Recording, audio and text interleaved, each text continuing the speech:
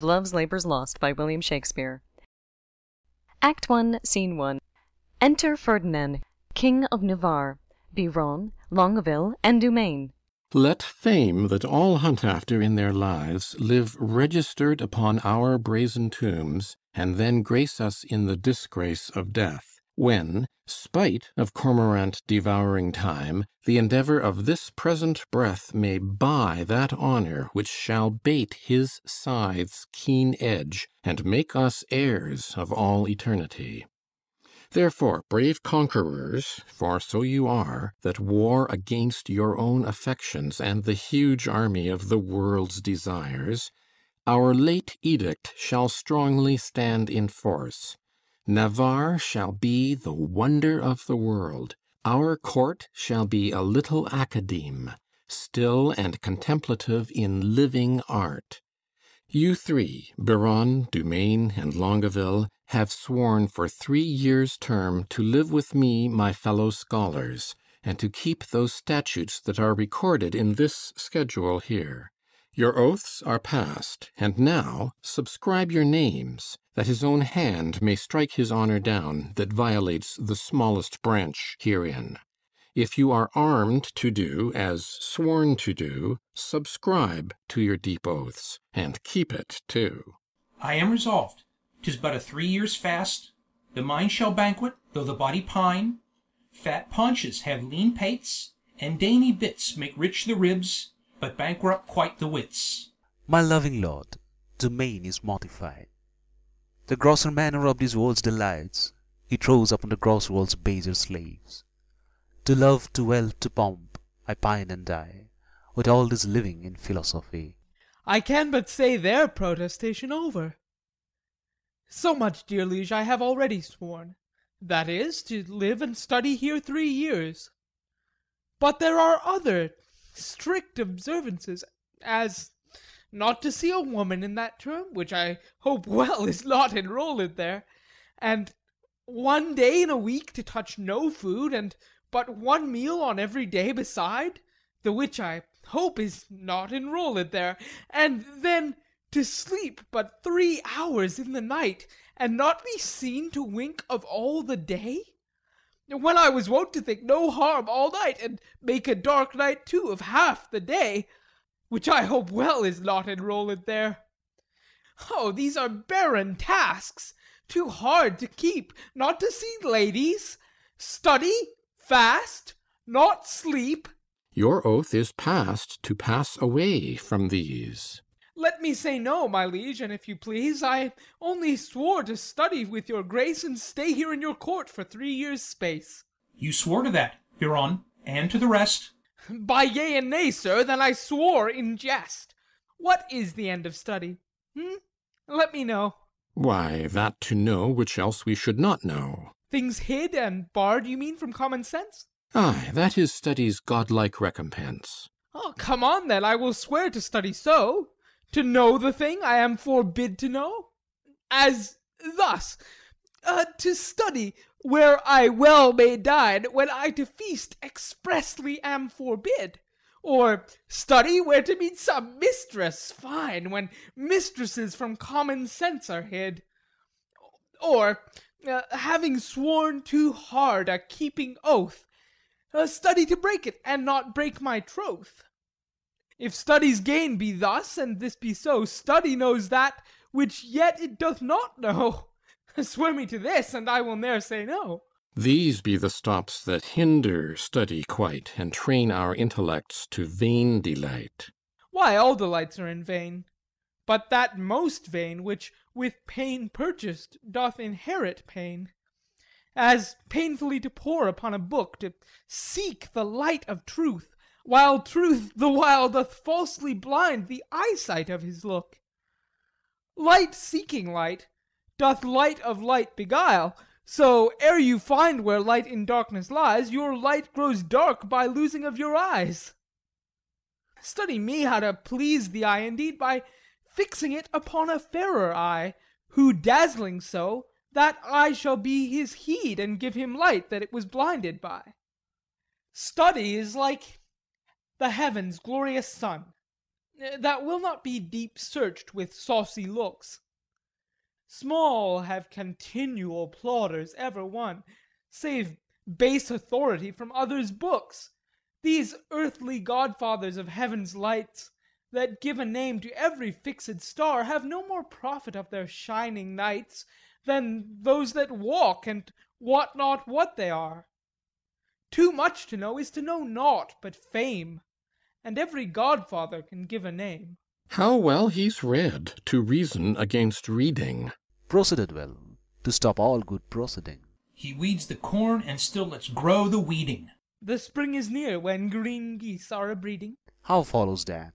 fit in his place and time. In reason, nothing.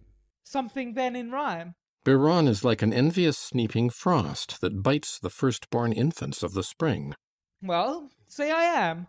Why should proud summer boast before the birds have any cause to sing? Why should I joy in any abortive birth? At Christmas I no more desire a rose Than wish a snow in May's new fangled mirth. But like of each thing that in season grows, So you, to study now it is too late. Climb o'er the house to unlock the little gate. Well, sit you out. Go home, Biron. Adieu. No, my good lord, I have sworn to stay with you. And though I have for barbarism spoke more than for that angel knowledge you can say, yet confident I'll keep what I have swore, and bide the penance of each three years' day. Give me the paper, let me read the same, and to the strictest degrees I'll write my name. How well this yielding rescues thee from shame. Reads.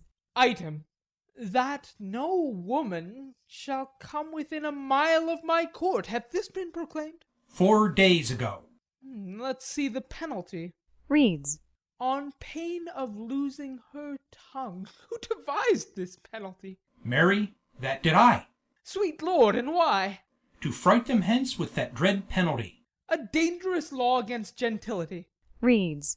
Item, if any man be seen to talk with a woman within the term of three years, he shall endure such public shame as the rest of the court can possibly devise. This article, my liege, yourself must break. For well you know, here comes in embassy the French king's daughter with yourself to speak, a maid of grace and complete majesty, about surrender up of Aquitaine to her decrepit, sick, and bedrid father. Therefore this article is made in vain, or vainly comes the admired princess hither. What say you, lords? Why, this was quite forgot. So study evermore is overshot. While it doth study to have what it would, it doth forget to do the thing it should. And when it hath the thing it hunteth most, 'tis one as towns with fire, so won, so lost. We must of force dispense with this decree. She must lie here on mere necessity. Necessity will make us all forsworn three thousand times within this three years' space. For every man with his effects is born, not by might mastered, but by special grace. If I break faith, this word shall speak for me. I am forsworn on mere necessity. So to the laws at large I write my name. Subscribes. And he that breaks them in the least degree stands in attainder of eternal shame. Suggestions are to other as to me, but I believe, although I seem so loth, I am the last that will last keep his oath. But is there no quick recreation granted? Ay, that there is. Our court, you know, is haunted with the refined traveller of Spain, a man in all the world's new fashion planted, that hath a mint of phrases in his brain, one whom the music of his own vain tongue doth ravish like enchanting harmony, a man of compliments, whom right and wrong have chose as umpire of their mutiny. This child of fancy that Armado hight, for interim to our studies, shall relate in high born words the worth of many a knight from tawny Spain, lost in the world's debate. How you delight, my lords, I know not, I, but I protest I love to hear him lie, and I will use him for my minstrelsy. Armado is a most illustrious wight, a man of fire new words, fashion's own knight. Costard the swain, and he shall be our sport. And so to study, three years is but short. Enter Dull with a letter, and Costard. Which is the Duke's own person? This, fellow. What wouldst? I myself reprehend his own person, for I am his Grace's Scarborough. But I would see his own person in flesh and blood. This is he. Signor Arm... Arm... commends you. There's villainy abroad. This letter will tell you more. Sir, the contents thereof are as touching me. A letter from the magnificent Armado. How low soever the matter, I hope in God for high words. A high hope for a low heaven. God grant us patience.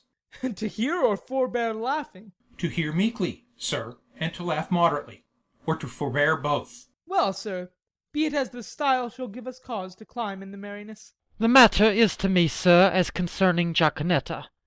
The manner of it is, I was taken with the manner. In what manner? In manner and form following, sir, all those three. I was seen with her in the manor house, sitting with her upon the form, and taken following her into the park, which put together is in manner and form following. And now, sir, for the manner.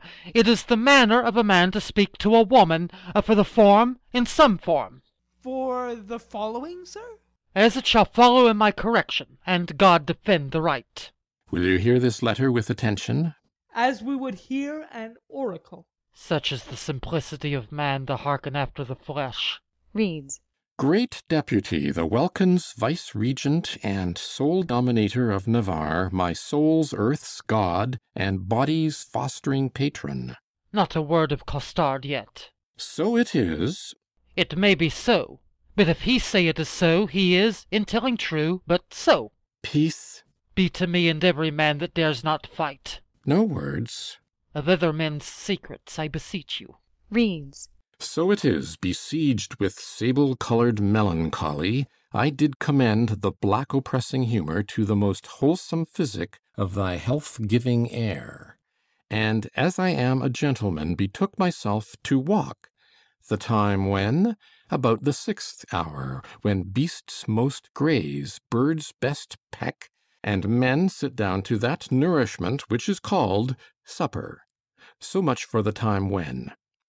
Now for the ground which, which, I mean, I walked upon. It is yclept thy park.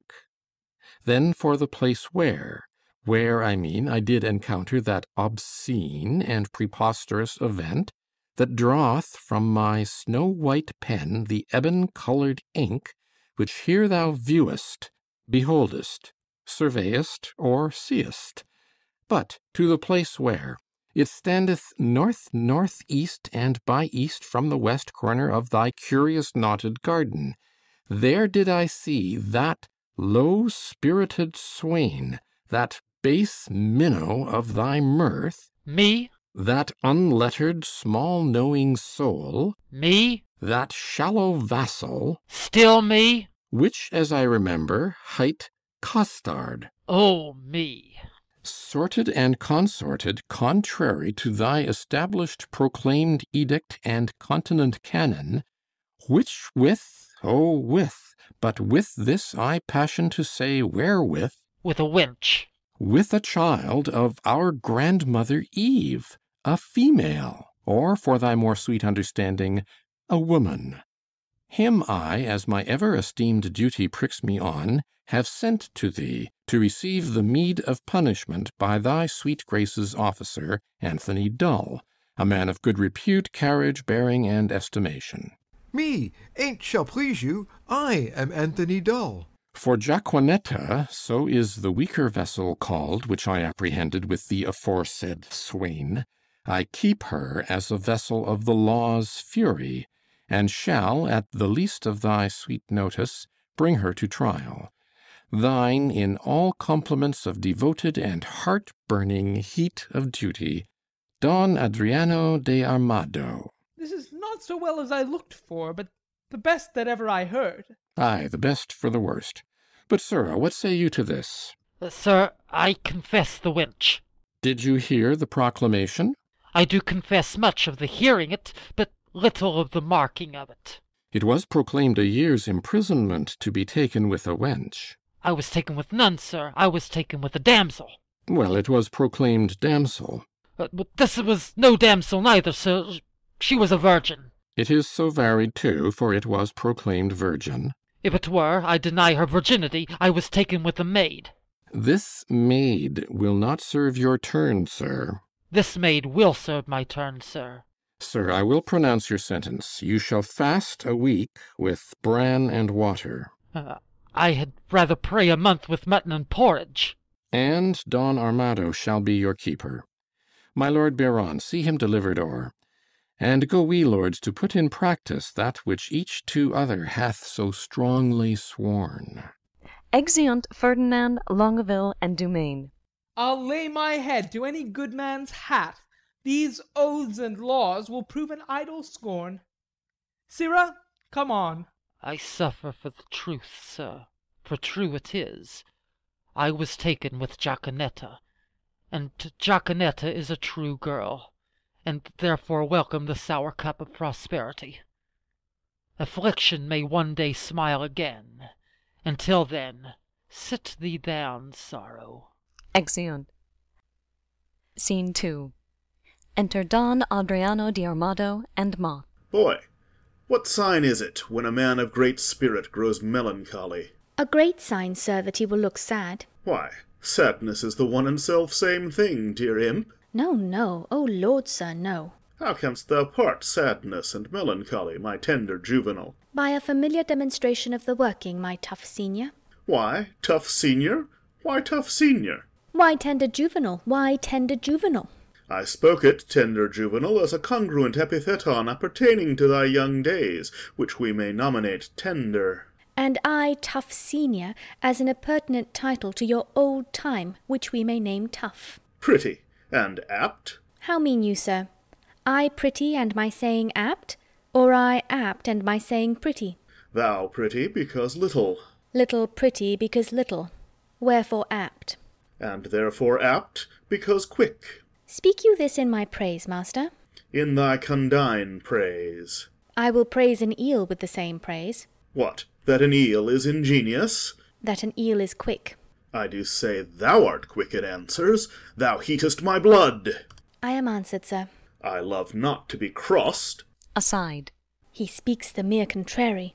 Crosses love not him. I have promised to study three years with the Duke. You may do it in an hour, sir. Impossible. How many is one thrice told? I am ill at reckoning. It fitteth the spirit of a tapster. You are a gentleman and a gamester, sir. I confess both. They are both the varnish of a complete man. Then I am sure you know how much the gross sum of deuce-ace amounts to. It doth amount to one more than two. Which the base vulgar do call three. True. Why, sir, is this such a piece of study? Now here is three studied, ere you'll thrice wink. And how easy it is to put years to the word three, and study three years in two words, the dancing horse will tell you. A most fine figure. To prove you a cipher. I will hereupon confess I am in love, and as it is base for a soldier to love, so am I in love with a base wench. If drawing my sword against the humour of affection would deliver me from the reprobate thought of it, I would take desire prisoner, and ransom him to any French courtier for a new devised courtesy. I think scorn to sigh, methinks I should outswear Cupid. Comfort me, boy. What great men have been in love? Hercules, master. Most sweet Hercules. More authority, dear boy, name more, and, sweet my child, let them be men of good repute and carriage. Samson, master. He was a man of good carriage, great carriage, for he carried the town gates on his back like a porter, and he was in love. Oh, o well-knit Samson, strong-jointed Samson, I do excel thee in my rapier as much as thou didst me in carrying gates. I am in love too. Who was Samson's love, my dear moth? A woman, master.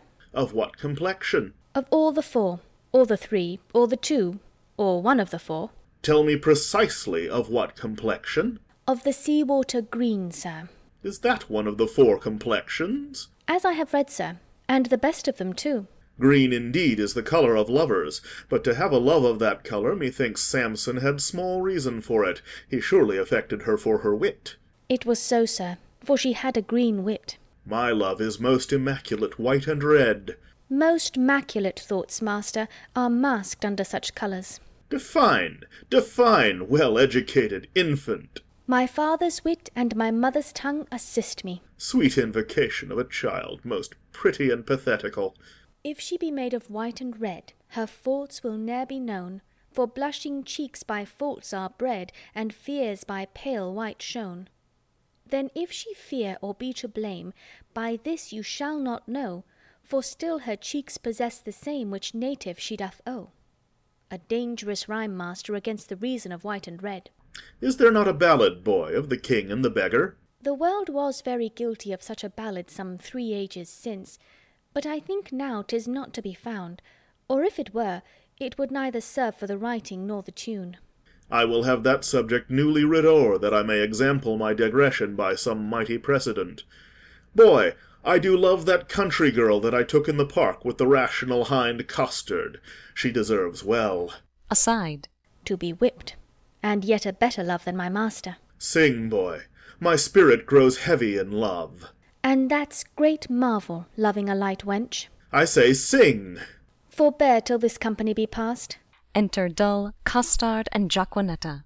Sir, the Duke's pleasure is that you keep Costard safe, and you must suffer him to take no delight nor no penance, but a must fast three days a week. For this damsel I must keep her at the park. She is allowed for the day woman. Fare you well. I do betray myself with blushing. Maid, Man, I will visit thee at the lodge. that's hereby. I know where it is situate. Lord, how wise you are. I will tell thee wonders. With that face. I love thee. So I heard you say. And so farewell. Fair weather after you. Come, Jaquenetta, away. Exeunt Dull and Jaquenetta. Villain, thou shalt fast for thy offences ere thou be pardoned. Well, sir, I hope when I do it, I shall do it on a full stomach. Thou shalt be heavily punished. I am more bound to you than your fellows, for they are but lightly rewarded. Take away this villain. Shut him up. Come, you transgressing slave, away. Let me not be pent up, sir. I will fast being loose. No, sir, that were fast and loose. Thou shalt to prison. Well, if ever I do see the merry days of desolation that I have seen, some shall see. What shall some see? Nay, nothing, Master Moth, but what they look upon. It is not for prisoners to be too silent in their words, and therefore I will say nothing. I thank God I have as little patience as another man, and therefore I can be quiet. Exeunt Moth and Costard. I do affect the very ground which is base, where her shoe which is baser, guided by her foot which is basest, doth tread. I shall be forsworn, which is a great argument of falsehood, if I love. And how can that be true love which is falsely attempted? Love is a familiar, love is a devil, there is no evil angel but love. Yet was Samson so tempted, and he had an excellent strength, yet was Solomon so seduced, and he had a very good wit. Cupid's butt shaft is too hard for Hercules' club, and therefore too much odds for a Spaniard's rapier. The first and second cause will not serve my turn. The passado he respects not, the duello he regards not. His disgrace is to be called boy, but his glory is to subdue men. Adieu, valour! Rust rapier, be still drum! For your manager is in love, yea, he loveth. Assist me, some extemporal god of rhyme, for I am sure I shall turn sonnet. Devise, wit! Write, pen, for I am for whole volumes in folio. Exit. End of Act 1. Act 2, Scene 1. Enter the Princess of France, Rosaline, Maria, Catherine, Boyet, lords, and other attendants. Now, madam, summon up your dearest spirits. Consider who the king your father sends, to whom he sends, and what's his embassy. Yourself, held precious in the world's esteem, to parley with the sole inheritor of all perfections that a man may owe, matchless Navarre. The plea of no less weight than Aquitaine, a dowry for a queen. Be now as prodigal of all dear grace as nature was in making graces dear when she did starve the general world beside, and prodigally gave them all to you. Good Lord Boyet, my beauty, though but mean, needs not the painted flourish of your praise. Beauty is bought by judgment of the eye, not uttered by base sale of chapmen's tongues. I am less proud to hear you tell my worth than you much willing to be counted wise in spending your wit in the praise of mine. But now to task the tasker. Good Boyet, you are not ignorant all telling fame doth noise abroad Navarre hath made a vow, till painful study shall outwear three years, no woman may approach his silent court. Therefore to seemeth it a needful course, before we enter his forbidden gates, to know his pleasure, and in that behalf, bold of your worthiness, we single you as our best moving fair solicitor. Tell him the daughter of the King of France, on serious business, craving quick dispatch, importunes personal conference with his grace. Haste, signify so much, while we attend like humble visaged suitors his high will. Proud of employment, willingly I go. All pride is willing pride, and yours is so. Exit Boyet. Who are the votaries, my loving lords, that are vow fellows with this virtuous duke? Lord Longueville is one. Know you the man? I know him, madam. At a marriage feast between Lord Perigord and the beauteous heir of Jacques Falconbridge, solemnized in Normandy, saw I this Longueville. A man of sovereign parts he is esteemed, well fitted in arts, glorious in arms; nothing becomes him ill that he would well. The only soil of his fair virtue's gloss, if virtue's gloss will stain with any soil, is a sharp wit matched with too blunt a will, whose edge hath power to cut, whose will still wills, it should none spare that come within his power. Some merry mocking lord belike. Is't so? They say so most, that most his humours know. Such short lived wits do wither as they grow. Who are the rest? The young Dumain, a well accomplished youth, of all that virtue love for virtue loved, most power to do most harm, least knowing ill, for he hath wit to make an ill shape good, and shape to win grace though he had no wit. I saw him at the Duke Alençon's once, and much too little of that good I saw is my report to his great worthiness. Another of these students at that time was there with him, if I have heard a truth. Biron they call him, but a merrier man within the limit of becoming mirth I never spent an hour's talk withal. His eye begets occasion for his wit; for every object that the one doth catch, the other turns to a mirth-moving jest, which his fair tongue, conceit's expositor, delivers in such apt and gracious words that aged ears play truant at his tales, and younger hearings are quite ravished, so sweet and voluble is his discourse. God bless my ladies! Are they all in love, that every one her own hath garnished with such bedecking ornaments of praise? Here comes Boyet. Re-enter Boyet. Now, what admittance, lord? Navarre had notice of your fair approach and he and his competitors in oath were all addressed to meet you, gentle lady, before I came. Marry, thus much I have learnt.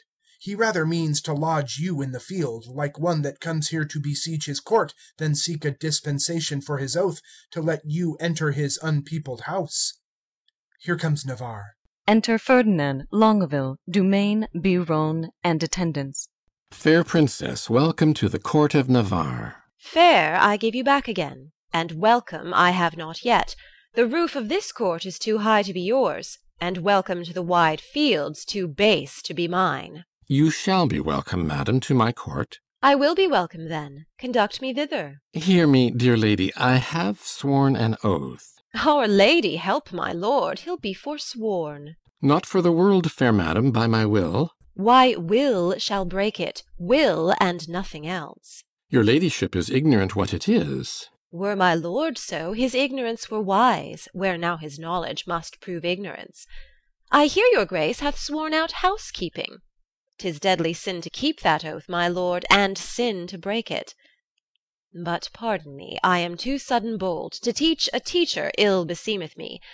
Vouchsafe to read the purpose of my coming, and suddenly resolve me in my suit. Madam, I will, if suddenly I may. You will the sooner that I were away, for you'll prove perjured if you make me stay. Did not I dance with you in Brabant once? Did not I dance with you in Brabant once? I know you did. How needless was it then to ask the question? You must not be so quick. 'Tis long of you that spur me with such questions. Your wit's too hot, it speeds too fast, 'twill tire. Not till it leave the rider in the mire. What time o' day? The hour that fools should ask. Now fair befall your mask, Fair fall the face it covers. and send you many lovers. Amen, so you be none. Nay, then I will be gone. Madam, your father here doth intimate the payment of a hundred thousand crowns, being but the one half of an entire sum dispersed by my father in his wars. But say that he or we, as neither have, received that sum, yet there remains unpaid a hundred thousand more, in surety of the which one part of Aquitaine is bound to us, although not valued to the money's worth. If then the king your father will restore but that one half which is unsatisfied, we will give up our right in Aquitaine, and hold fair friendship with his majesty. But that, it seems, he little purposeth, for here he doth demand to have repaid a hundred thousand crowns, and not demands, on payment of a hundred thousand crowns, to have his title live in Aquitaine, which we much rather had depart withal, and have the money by our father lent, than Aquitaine so gelded as it is. Dear princess, were not his request so far from reason's yielding, your fair self should make a yielding gainst some reason in my breast, and go well satisfied to France again. You do the king my father too much wrong, and wrong the reputation of your name, in so unseeming to confess receipt of that which hath so faithfully been paid. I do protest I never heard of it, and if you prove it, I'll repay it back or yield up Aquitaine. We arrest your word. Boyet, you can produce acquittances for such a sum from special officers of Charles his father. Satisfy me so. So please your grace, the packet is not come where that and other specialties are bound. Tomorrow you shall have a sight of them. It shall suffice me, at which interview all liberal reason I will yield unto. Meantime, receive such welcome at my hand as honour without breach of honour may make tender of to thy true worthiness. You may not come, fair princess, in my gates, but here without you shall be so received as you shall deem yourself lodged in my heart, though so denied fair harbour in my house. Your own good thoughts excuse me, and farewell. Tomorrow shall we visit you again.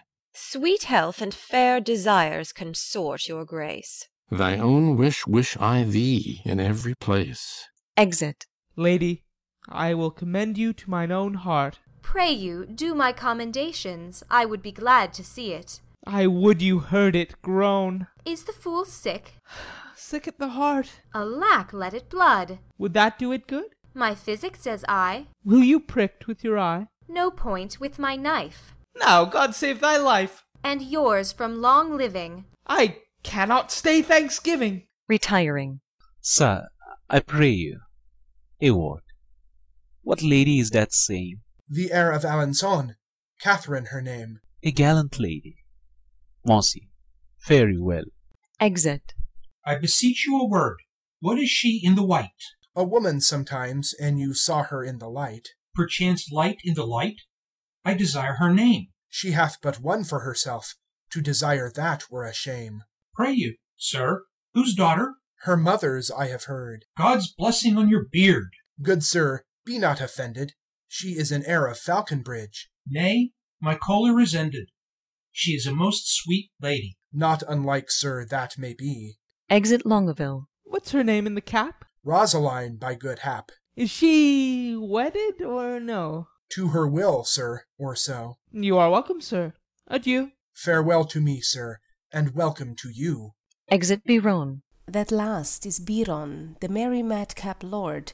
Not a word with him but a jest. And every jest but a word. It was well done of you to take him at his word. I was as willing to grapple as he was to board. Two hot sheeps, merry. And wherefore not ships?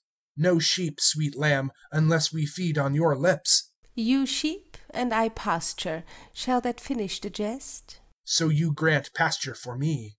Offering to kiss her. Not so, gentle beast. My lips are no common, though several they be. Belonging to whom? To my fortunes and me. Good wits will be jangling, but gentles agree This civil war of wits were much better used On Navarre and his bookmen, for here 'tis abused. If my observation, which very seldom lies, By the heart's still rhetoric disclosed with eyes, Deceive me not now, Navarre is infected. With what? With that which we lovers entitle affected. Your reason? Why, all his behaviours did make there retire To the court of his eye peeping thorough desire. His heart like an agate with your print impressed, Proud with his form, in his eye pride expressed. His tongue all patient to speak and not see, Did stumble with haste in his eyesight to be. All senses to that sense did make their repair, To feel only looking on fairest of fair. Methought all his senses were locked in his eye, As jewels in crystal for some prince to buy. Who, tendering their own worth from where they were glassed, Did point you to buy them, along as you passed. His face's own margent did quote such amazes, That all eyes saw his eyes enchanted with gazes.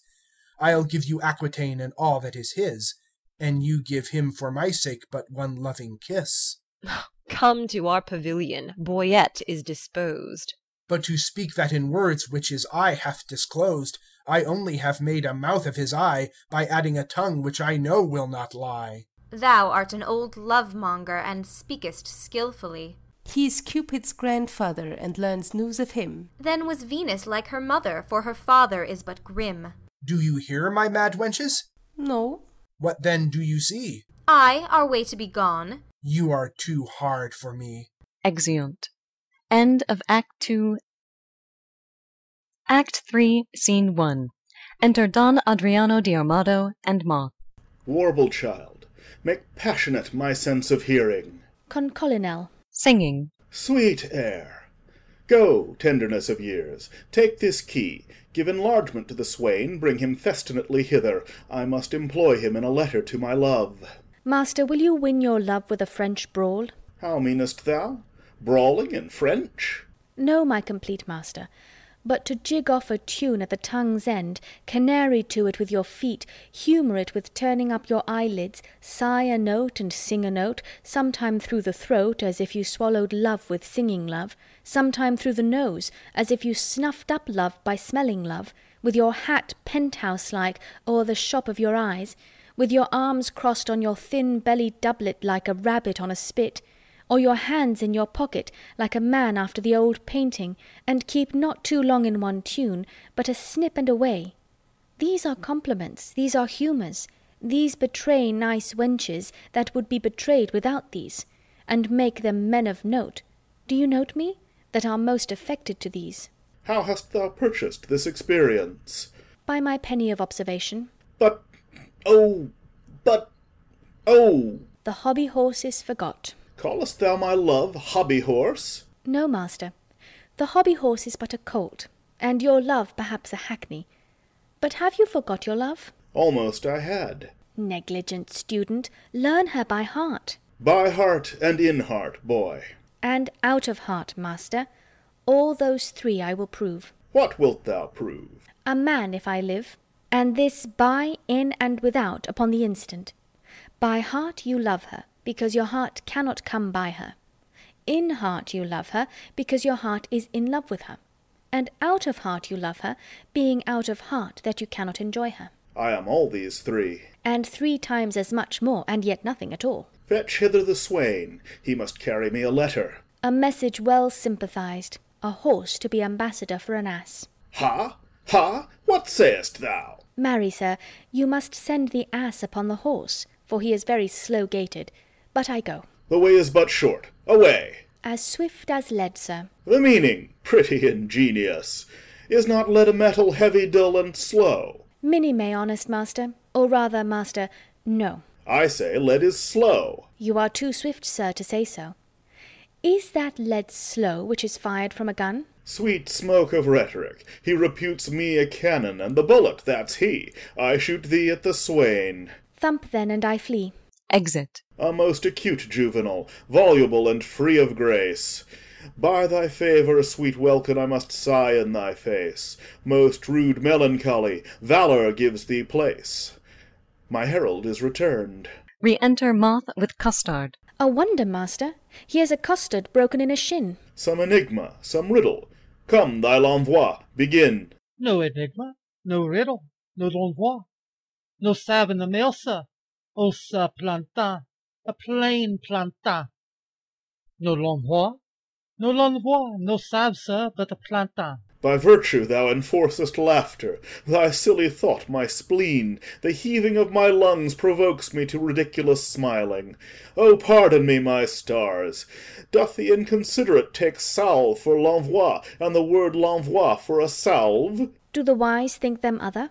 Is not l'envoi a salve? No, page. It is an epilogue or discourse to make plain some obscure precedence that hath tofore been sane. I will example it. The fox, the ape, and the humble bee were still at odds, being but three. There's the moral. Now the l'envoi. I will add the l'envoi. Say the moral again. The fox, the ape, and the humble bee were still at odds, being but three. Until the goose came out of door and stayed the odds by adding four. Now will I begin your moral, and do you follow with my l'envoi. The fox, the ape, and the humble bee were still at odds, being but three. Until the goose came out of door, staying the odds by adding four. A good l'envoi, ending in the goose. Would you desire more? The boy hath sold him a bargain. A goose, that's flat. Sir, your pennyworth is good, and your goose be fat. To sell a bargain well is as cunning as fast and loose. Let me see. A fat l'envoi. Ay, that's a fat goose. Come hither, come hither. How did this argument begin? By saying that a costard was broken in a shin. Then called you for the l'envoi. True, and I for a plantain. Thus came your argument in. Then the boy's fat l'envoi, the goose that you bought, and he entered the market. But tell me, how was there a costard broken in a shin? I will tell you sensibly. Thou hast no feeling of it, Moth. I will speak that l'envoi. I, Costard, running out that was safely within, fell over the threshold and broke my shin. We will talk no more of this matter. Till there be more matter in the shin. Sir a Costard, I will enfranchise thee. Oh, marry me to one Francis. I smell some l'envoi, some goose in this. By my sweet soul, I mean setting thee at liberty, and freedoming thy person. Thou wert immured, restrained, captivated, bound. True, true. And now you will be my purgation and let me loose. I give thee thy liberty, set thee from durance, and in lieu thereof impose on thee nothing but this. Bear this significant to the country maid Jaquenetta. Giving a letter. There is remuneration, for the best ward of mine honour is rewarding my dependence. Moth, follow. Exit. Like the sequel, I. Signor Costard, adieu. My sweet ounce of man's flesh, my incony Jew. Exit Moth. Now I will look to this remuneration. Remuneration. Oh, that's the Latin word for three farthings. Three farthings remuneration. What's the price of the cinco? One penny. No, I'll give you a remuneration. Why, it carries it. Remuneration. Why, it is a fairer name than French crown. I will never buy and sell out of this word. Enter Biron. Oh, my good knave Costard, exceedingly well met. Pray you, sir, how much carnation ribbon may a man buy for a remuneration? What is a remuneration? Marry, sir, halfpenny farthing. Why then, three farthing worth of silk. I think, your worship. God be with you. Stay, slave, I must employ thee. As thou wilt win my favour, good my knave, do one thing for me that I shall entreat. When would you have it done, sir? This afternoon. Well, I will do it, sir. Fare you well. But th- thou knowest not what it is. I shall know, sir, when I have done it. Why, villain, thou must know first. I will come to your worship tomorrow morning. It must be done this afternoon. Hark, slave, it is but this. The princess comes to hunt here in the park, And in her train there is a gentle lady, When tongues speak sweetly, then they name her name, And Rosaline they call her. Ask for her, And to her white hand see thou do commend This sealed up counsel. There's thy guerdon. Go. Giving him a shilling. Guerdon. Oh, sweet guerdon, better than remuneration. Eleven pence farthing better. Most sweet guerdon. I will do it, sir, in print. Guerdon. Remuneration. Exit. And I, forsooth, in love. I, that have been love's whip, a, a very beadle to a humorous sigh, a critic, nay, a night watch constable, a domineering pedant o'er the boy, than whom no mortal so magnificent. This wimpled, whining, purblind, wayward boy, this senior junior, giant dwarf, Dan Cupid, regent of love rhymes, lord of folded arms, the anointed sovereign of sighs and groans, liege of all loiterers and malcontents, dread prince of plackets, king of codpieces, sole imperator and great general of trotting paritors. Ah, my little heart! And I to be a corporal of his field, and wear his colours like a tumbler's hoop? What, I? I love? I sue? I seek a wife? A woman that is like a German clock still a repairing, ever out of frame, and never going aright, being a watch, but being watched that it may still go right. Nay, to be perjured, which is worst of all, and among three to love the worst of all. A whitely wanton with a velvet brow, with two pitch balls stuck in her face for eyes. Ay, and by heaven, one that will do the deed though Argus were her eunuch and her guard. And I to sigh for her, to watch for her, to pray for her? Ah, go to! It is a plague that Cupid will impose for my neglect of his almighty dreadful little might. Well, I will love, write, sigh, praise to, and groan. Some men must love my lady, and some Joan. Exit. End of Act Three. Act Four, Scene One. Enter the princess and her train, a forester, Boyet, Rosaline, Maria, and Catherine. Was that the king that spurred his horse so hard against the steep uprising of the hill? I know not, but I think it was not he. Whoe'er was showed a mounting mind. Well, lords, to-day we shall have our dispatch. On Saturday we will return to France. Then, forester, my friend, where is the bush that we must stand and play the murderer in? Hereby, upon the edge of yonder coppice, a stand where you may make the fairest shoot. I thank my beauty, I am fair that shoot, and thereupon thou speak'st the fairest shoot. Pardon me, madam, for I meant not so. What? What? First praise me, and again say no? O short-lived pride! Not fair? Alack for woe! Yes, madam, fair. Nay, never paint me now. Where fair is not, praise cannot mend the brow. Here, good my glass, take this for telling true. Fair payment for foul words is more than due. Nothing but fair is that which you inherit. Oh, see, see, my beauty will be saved by merit. O heresy and fair fit for these days! A giving hand, though foul, shall have fair praise. But come, the bow. Now mercy goes to kill, and shooting well is then accounted ill. Thus will I save my credit in the shoot; not wounding, pity would not let me do't; if wounding, then it was to show my skill, that more for praise than purpose meant to kill. And out of question so it is sometimes, glory grows guilty of detested crimes, when for fame's sake, for praise, an outward part, we bend to that the working of the heart. As I for praise alone now seek to spill the poor dear's blood, that my heart means no ill. Do not cursed wives hold that self sovereignty only for praise sake when they strive to be lords o'er their lords? Only for praise. And praise we may afford to any lady that subdues a lord. Here comes a member of the Commonwealth. Enter Costard. God dig you den all. Pray you, which is the head lady? Thou shalt know her, fellow, by the rest that have no heads. Which is the greatest lady? The highest? The thickest and the tallest. The thickest and the tallest? It is so, truth is truth. And your waist, mistress, were as slender as my wit, or one of these maids' girdles for your waist should be fit. Are not you the chief woman? You are the thickest here. What's your will, sir? What's your will? I have a letter from Monsieur Biron to one Lady Rosalind. Oh, thy letter, thy letter! He's a good friend of mine. Stand aside, good bear. Boyet, you can carve. Break up this capon. I am bound to serve. This letter is mistook. It importeth none here.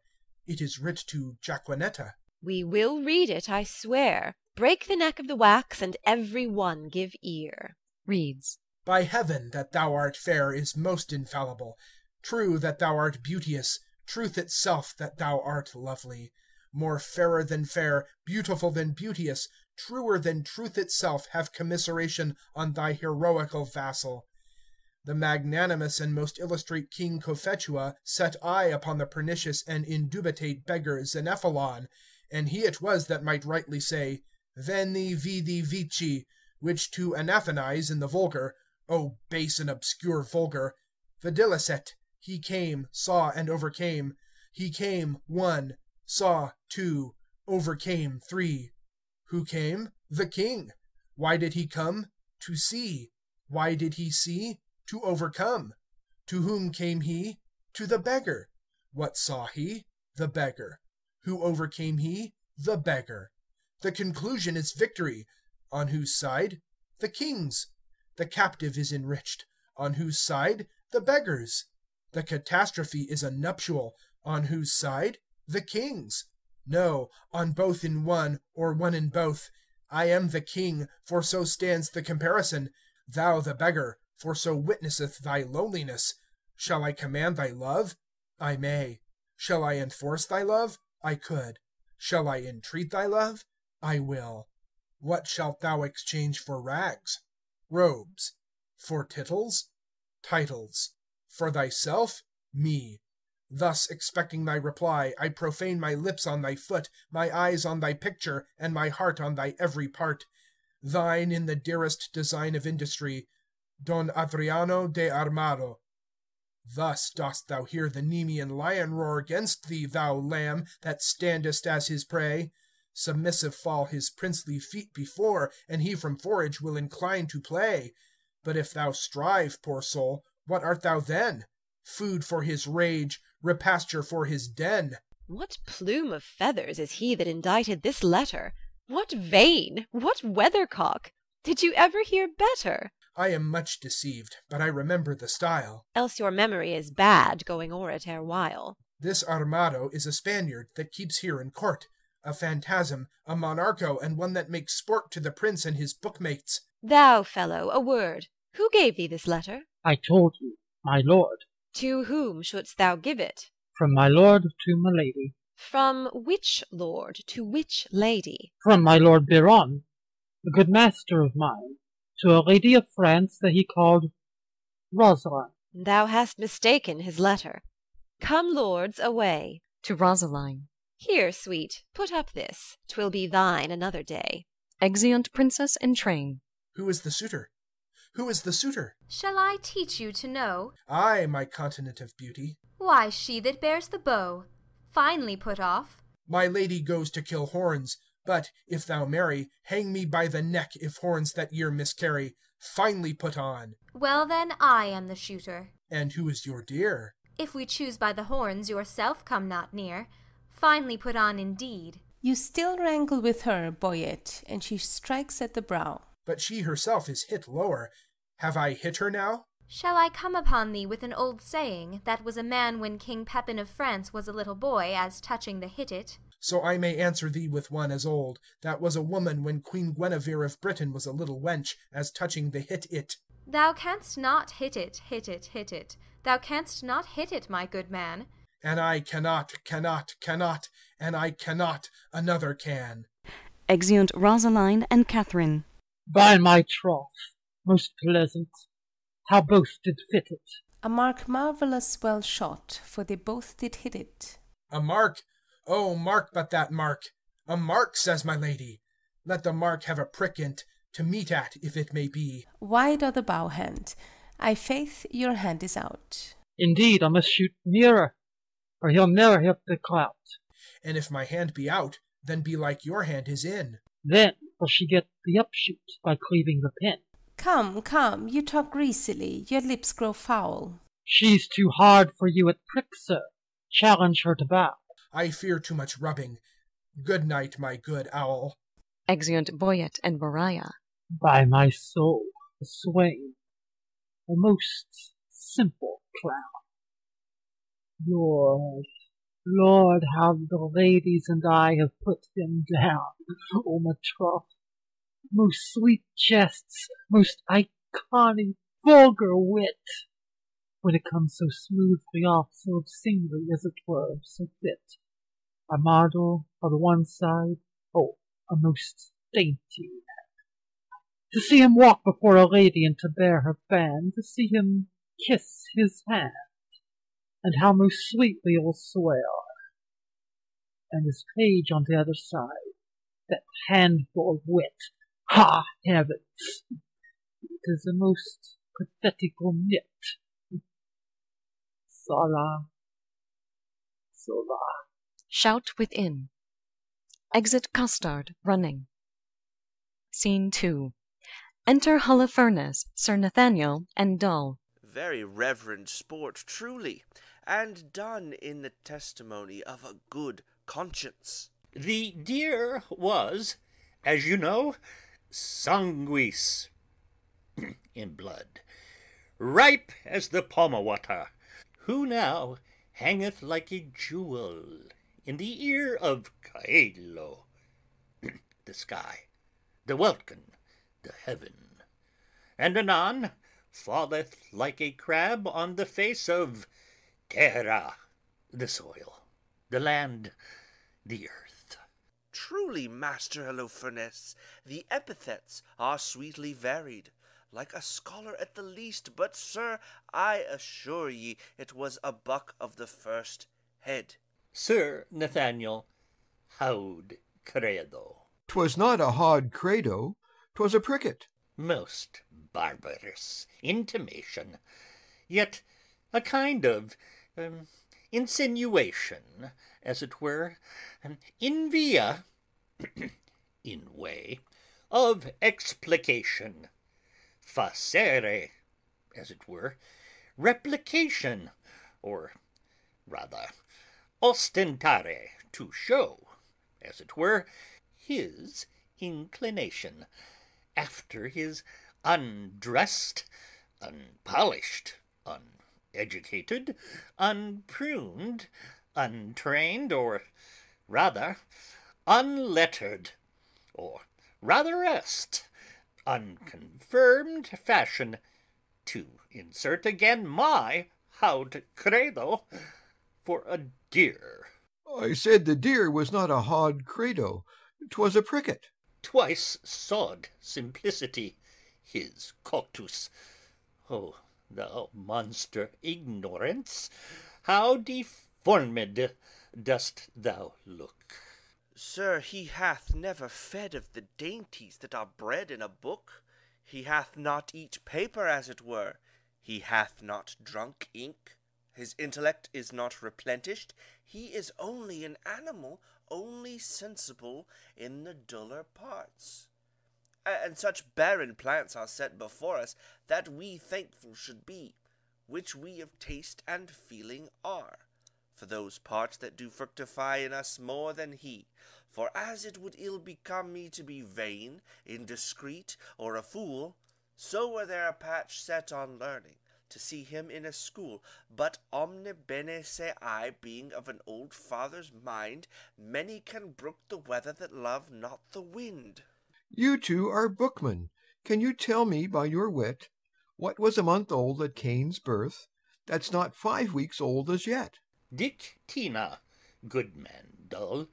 Dictynna, good man, dull. What is Dicnia?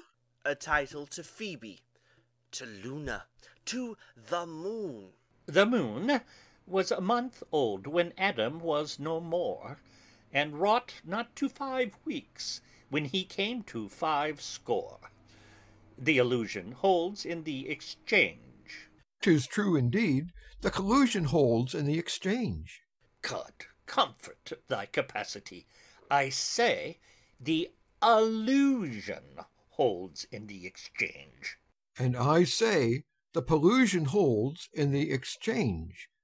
For the moon is never but a month old, and I say beside that, 'twas a pricket that the princess killed. Sir Nathaniel, will you hear an extemporal epitaph on the death of the deer, and to humour the ignorant, call I the deer the princess killed a pricket.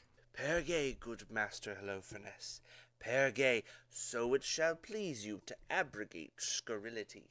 I will something affect the letter, for it argues facility.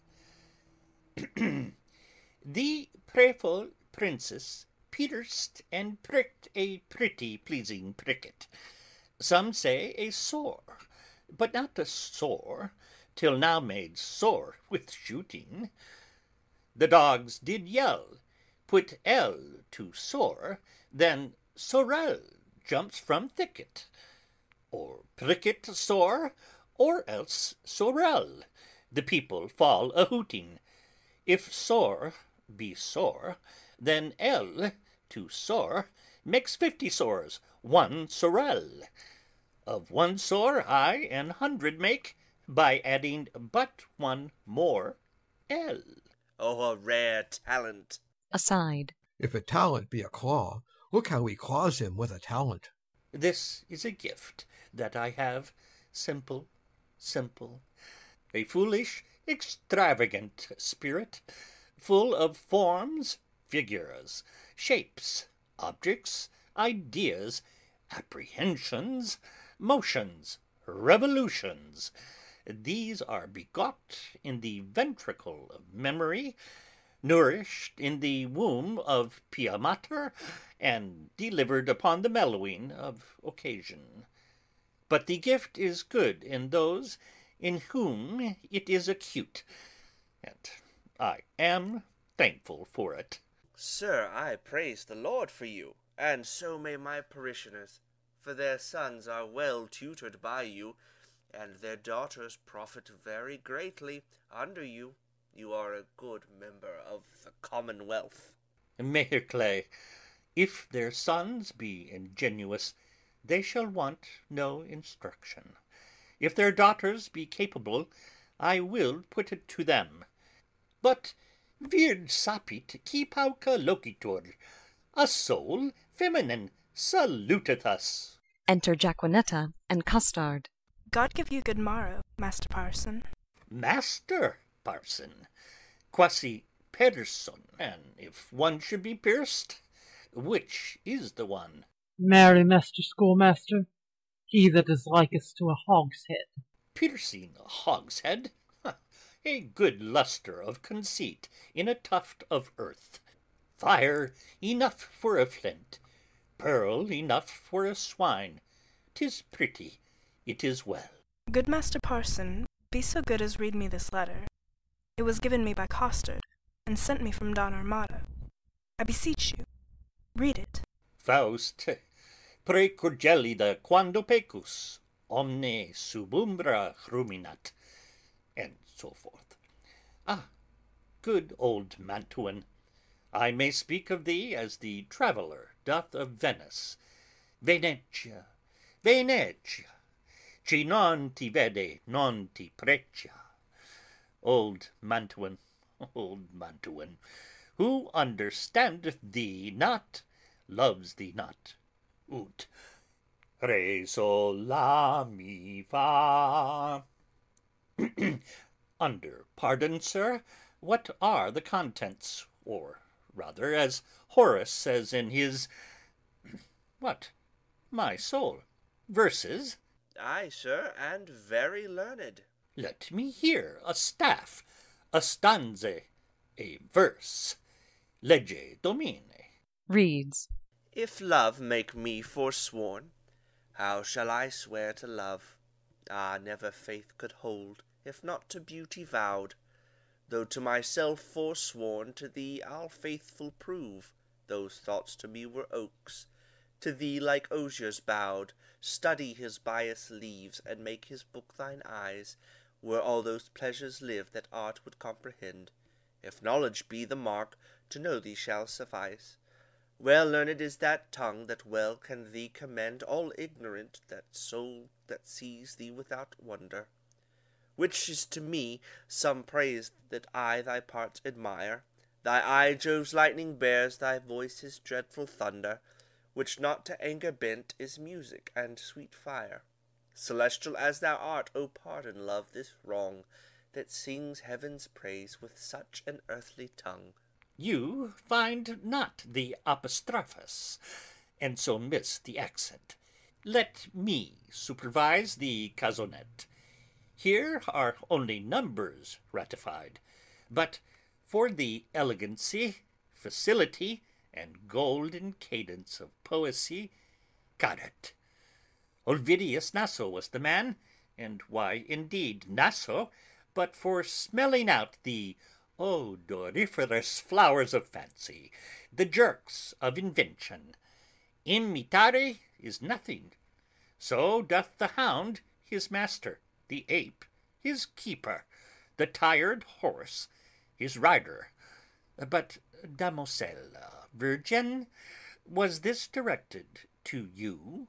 Ay, sir, from one Monsieur Biron, one of the strange queen's lords. I will overglance the superscript.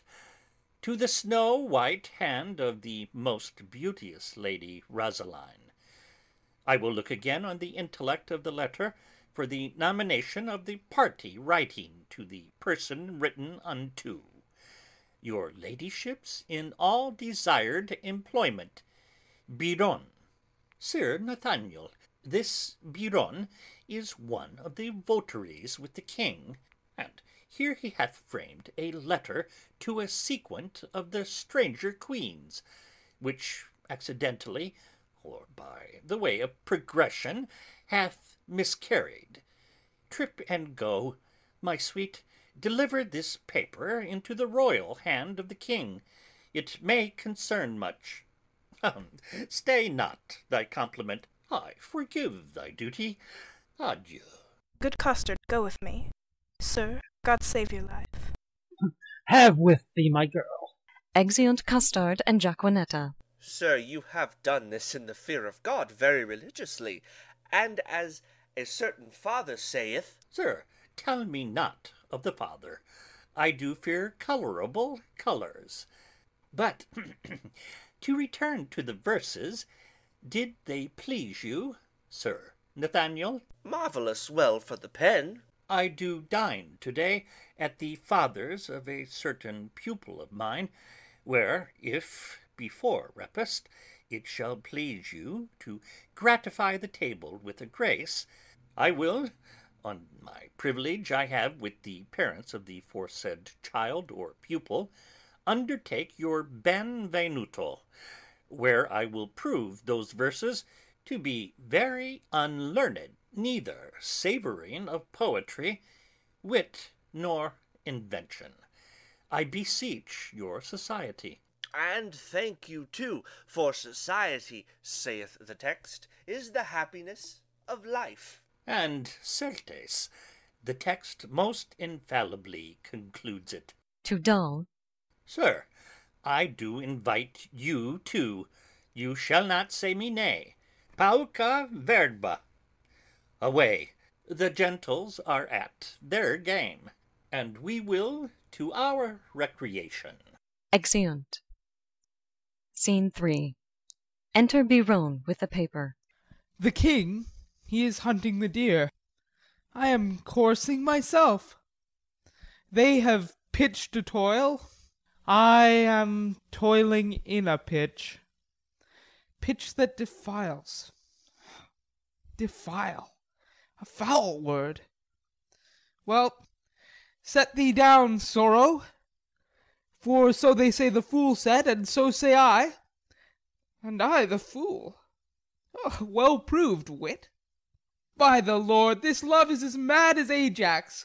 It kills sheep. It kills me. I, a sheep, well proved again at my side. I will not love. If I do, hang me. I' faith, I will not. Oh, but her eye.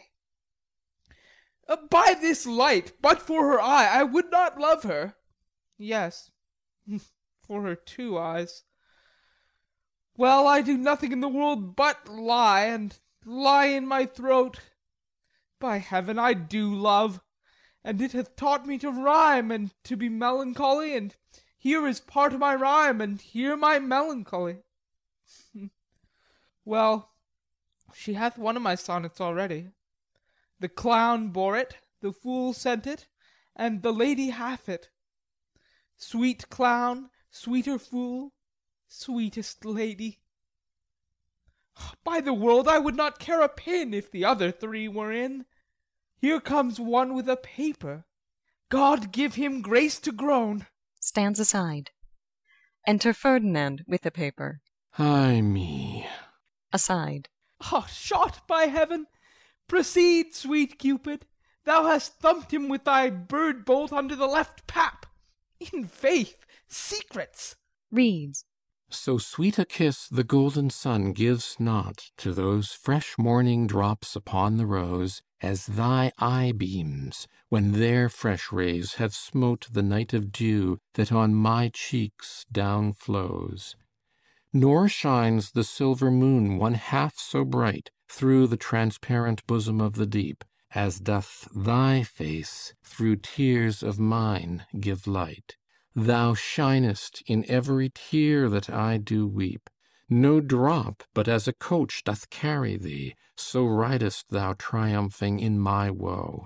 Do but behold the tears that swell in me, And they thy glory through my grief will show.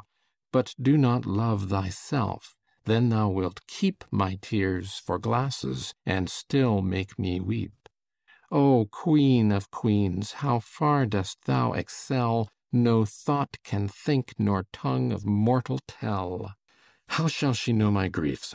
I'll drop the paper. Sweet leaves shade folly. Who is he comes here? Steps aside. What? Longaville? And reading? Listen, ear.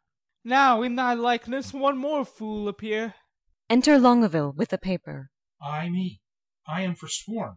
Why, he comes in like a perjure, wearing papers. In love, I hope. Sweet fellowship in shame. One drunkard loves another of the name. Am I the first that have been perjured so? I could put thee in comfort, not by two that I know. Thou makest the triumvirate, the corner cap of society, the shape of love's Tyburn that hangs up simplicity.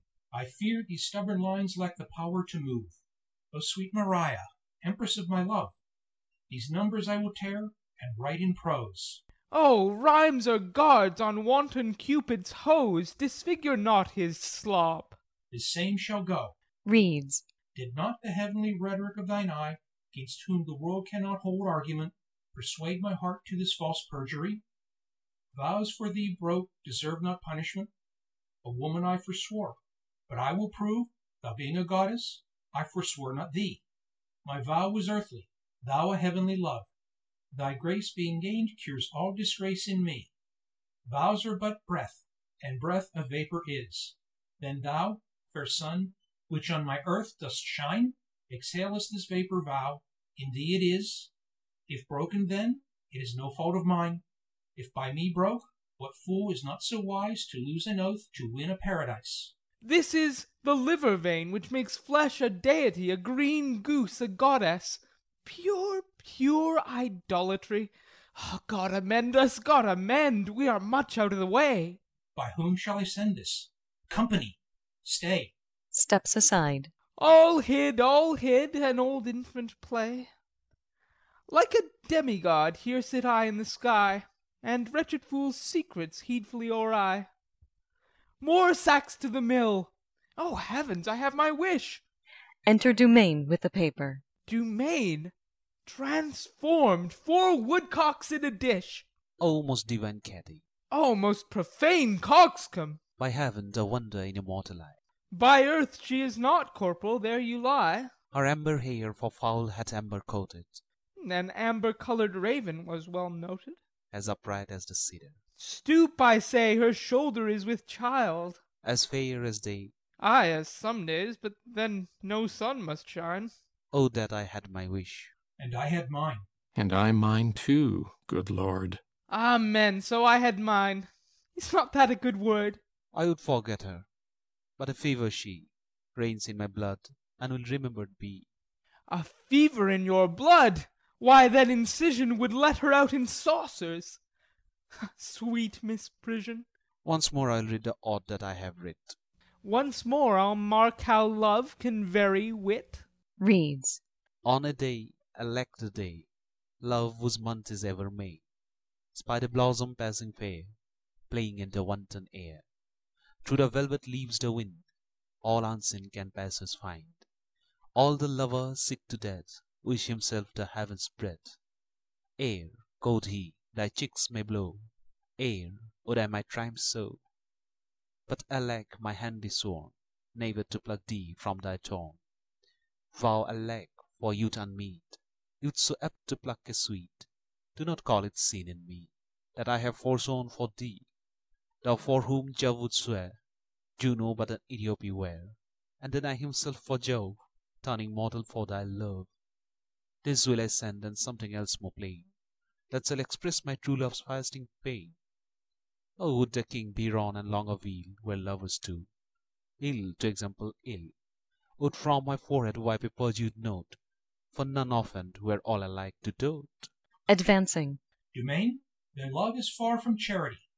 You may look pale, but I should blush, I know, to be unheard and taken napping so. Advancing.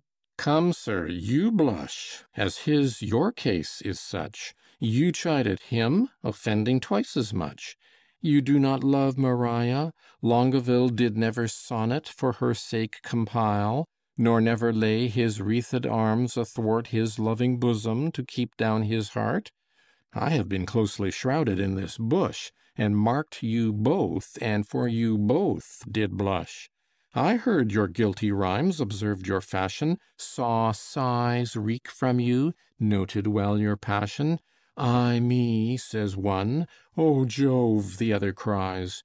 One, her hairs were gold, crystal the other's eyes. To Longueville. You would for paradise break faith and troth, To Dumaine. and Jove for your love would infringe an oath. What will Biron say when that he shall hear faith so infringed, which such zeal did swear? How will he scorn? How will he spend his wit? How will he triumph, leap, and laugh at it?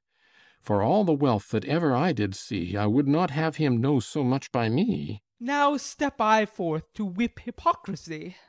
Advancing. Ah, good my liege, I pray you, pardon me. Good heart, what grace hast thou, thus to reprove these worms for loving that art most in love? Your eyes do make no coaches, in your tears there is no certain princess that appears. You'll not be perjured, 'tis a hateful thing. Tush, none but minstrels like of sonneting. But are you not ashamed, nay, are you not, all three of you, to be thus much o'ershot? You found his mote, the king your mote did see, but I a beam do find in each of three. Oh, what a scene of foolery have I seen, of sighs, of groans, of sorrow, and of teen! Ah me, with what strict patience have I sat to see a king transformed to a gnat! To see great Hercules whipping a gig, and profound Solomon to tune a jig, and Nestor play at pushpin with the boys, and critic Timon laugh at idle toys. Where lies thy grief, O tell me, good Dumaine? And gentle Longueville, where lies thy pain? And where my liege's? All about the breast? A caudle, ho! Too bitter is thy jest. Are we betrayed thus to thy overview? Not you to me, but I betrayed by you. I that am honest, I that hold it sin to break the vow I am engaged in. I am betrayed by keeping company with men like men of inconstancy. When should you see me write a thing in rhyme, or groan for love, or spend a minute's time in pruning me? When shall you hear that I will praise a hand, a foot, a face, an eye, a gait, a state, a brow, a breast, a waist, alike a limb? Soft, whither away so fast? A true man or a thief that gallops so? I post from love. Good lover, let me go. Enter Jaquenetta and Costard. God bless the king. What present hast thou there? Some certain treason. What makes treason here? Nay, it makes nothing, sir. If it mar nothing neither, the treason and you go in peace away together. I beseech your grace, let this letter be read. Our parson misdoubts it. 'Twas treason, he said. Biron, read it over. Giving him the paper. Where hadst thou it? Of Costard? Where hadst thou it? Of Don Adromario. Don Adromario. Biron tears the letter. How now? What is in you? Why dost thou tear it? A, a, a toy, my liege, a toy. Your, your grace needs not fear it. It did move him to passion, and therefore let's hear it. It is Biron's writing, and here is his name. Gathering up the pieces, to Costard. Ah, you horse and loggerhead, you were born to do me shame. Oh, guilty, my lord, guilty, I confess, I confess. What? That you three fools lacked me, fool, to make up the mess. He, he, and you, and you, my liege, and I are pick purses in love, and we deserve to die. Oh, dismiss this audience, and I shall tell you more. Now the number is even. True, true, we are four. Will these turtles be gone? Hence, sirs, away. Walk aside the true folk, and let the traitors stay. Exeunt Costard and Jaquenetta. Sweet lords, sweet lovers, oh, let us embrace, as true we are as flesh and blood can be.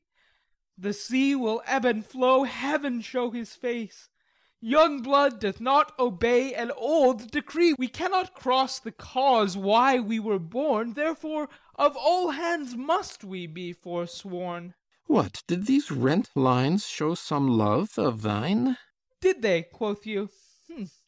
Who sees the heavenly Rosaline, that, like a rude and savage man of Ind, at the first opening of the gorgeous East, bows not his vassal head, and, strucken blind, kisses the base ground with obedient breast? What peremptory, eagle-sighted eye dares look upon the heaven of her brow that is not blinded by her majesty? What zeal, what fury hath inspired thee now? My love, her mistress, is a gracious moon, she an attending star, scarce seen a light. My eyes are then no eyes, nor I Biron. Oh, but for my love day would turn to night. Of all complexions the cold sovereignty do meet, As at a fair, in her fair cheek, Where several worthies make one dignity, Where nothing wants that want itself doth seek. Lend me the flourish of all gentle tongues. Fie! painted rhetoric! Oh, she needs it not. To things of sale a seller's praise belongs. She passes praise. Then praise too short doth blot.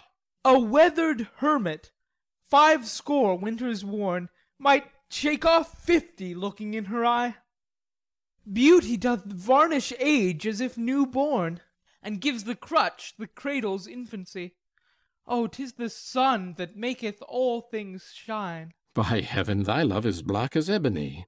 Is ebony like her? Oh, the wood divine!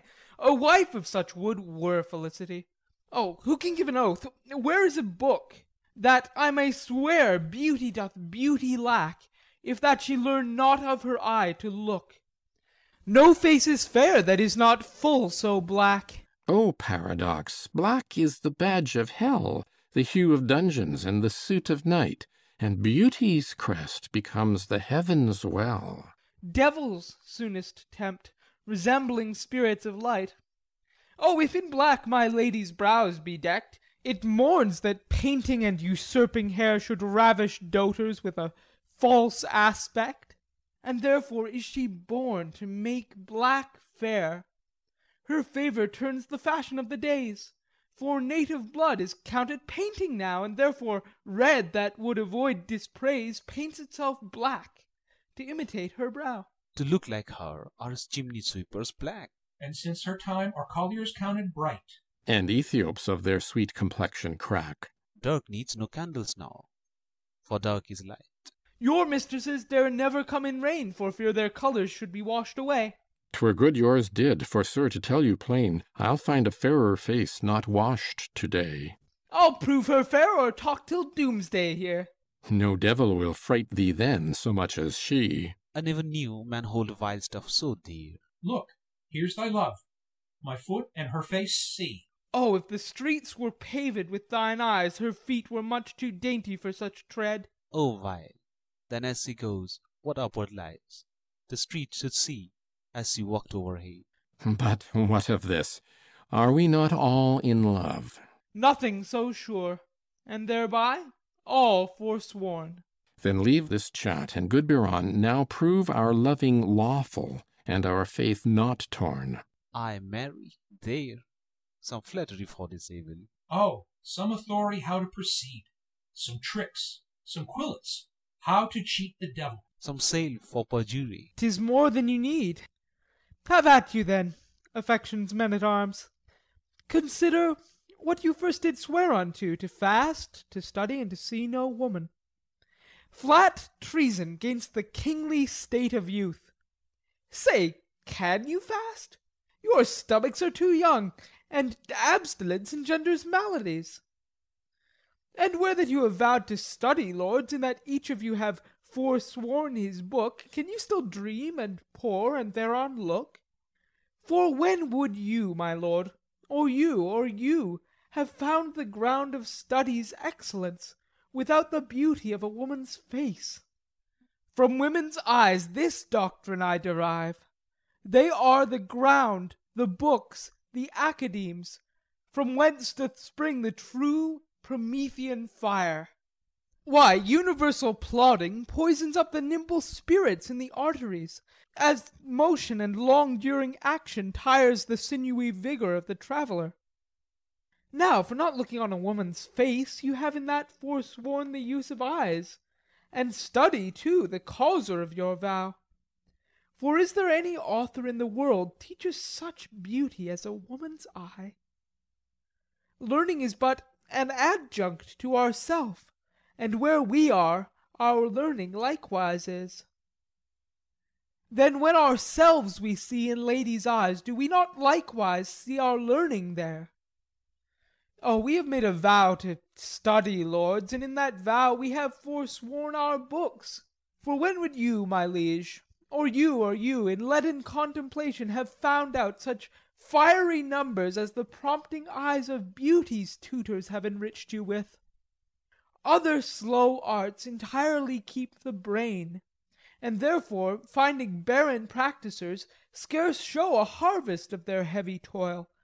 But love, first learned in a lady's eyes, Lives not alone immured in the brain, But with the motion of all elements, Courses as swift as thought in every power, And gives to every power a double power, Above their functions and their offices.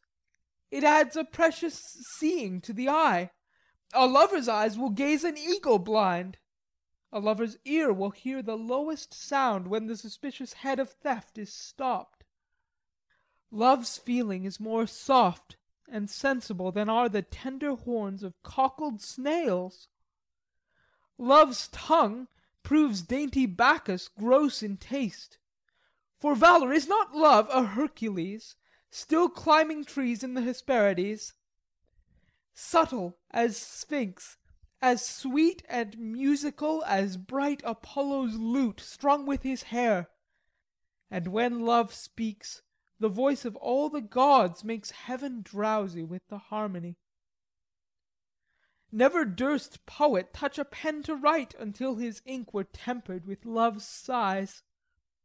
Oh, then his lines would ravish savage ears And plant in tyrants mild humility. From women's eyes this doctrine I derive. They sparkle still the right Promethean fire, They are the books, the arts, the academes That show, contain, and nourish all the world; Else not at all in aught proves excellent. Then fools you were these women to forswear, Or, keeping what is sworn, you will prove fools. For wisdom's sake, a word that all men love, Or for love's sake, a word that loves all men, Or for men's sake, the authors of these women, Or women's sake, by whom we men are men.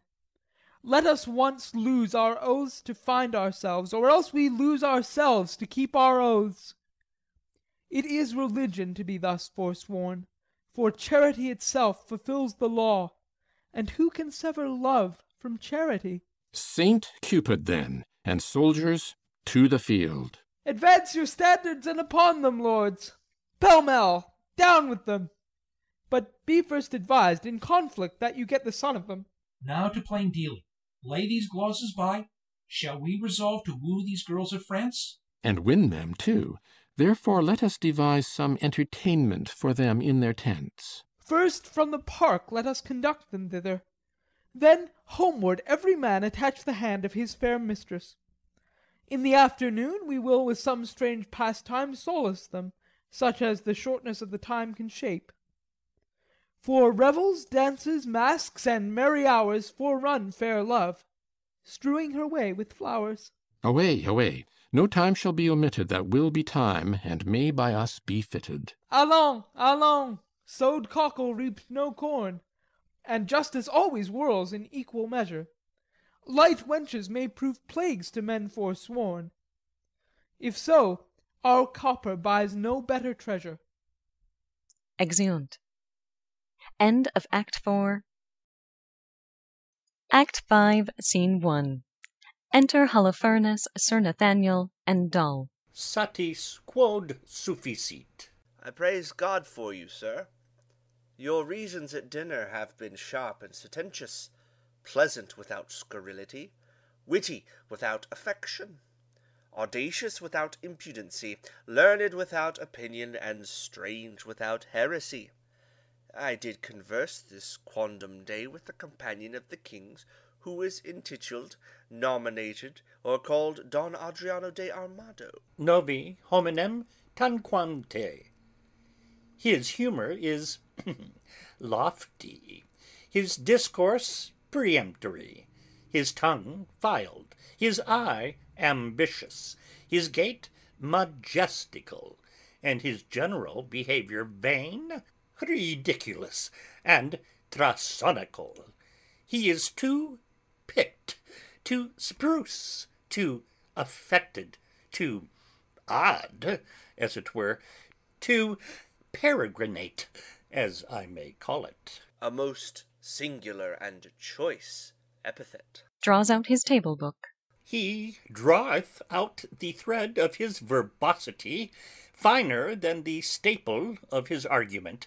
I abhor such fanatical phantasimes, such insociable and point devise companions, such rakers of orthography, as to speak doubt fine when he should say doubt, debt when he should pronounce dept, d e b t, not det. He cleppeth a calf calf, half half. Nay, bower, neighbor. Nay, abbreviated nay. This is abominable, which he would call abominable. It insinuateth me of insanie. Ane intelligis domine, to make frantic, lunatic. Laus Deo bene intelligo. Bon, bon, for bon. Priscian, A little scratched, 'twill serve. Videsne quis venit? Video, e gaudeo. Enter Don Adriano di Armado, Ma, and Costard. Chirrah! Quare chirrah, not sirrah. Men of peace, well encountered. Most military, sir, salutation. Aside to Costard. They have been at a great feast of languages and stolen the scraps. Oh, they have lived long on the alms basket of words. I marvel thy master hath not eaten thee for a word, for thou art not so long by the head as honorificabilitudinitatibus. Thou art easier swallowed than a flat dragon. Peace, the peal begins. To Holofernes. Monsieur, are you not lettered? Yes, yes, he teaches boys the horn book. What is A, B spelt backward with the horn on his head? Bah, pueritia, with a horn added. Bah, most silly sheep with a horn. You hear his learning. Quis, quis, thou consonant? The third of the five vowels if you repeat them, or the fifth if I. I will repeat them. A, E, I. The sheep. The other concludes it. O U. Now by the salt wave of the Mediterranean, a sweet touch, a quick venue of wit. Snap, snap, quick and home, it rejoiceth my intellect, true wit. Offered by a child to an old man, which is wit old. What is the figure? What is the figure? Horns. Thou disputest like an infant.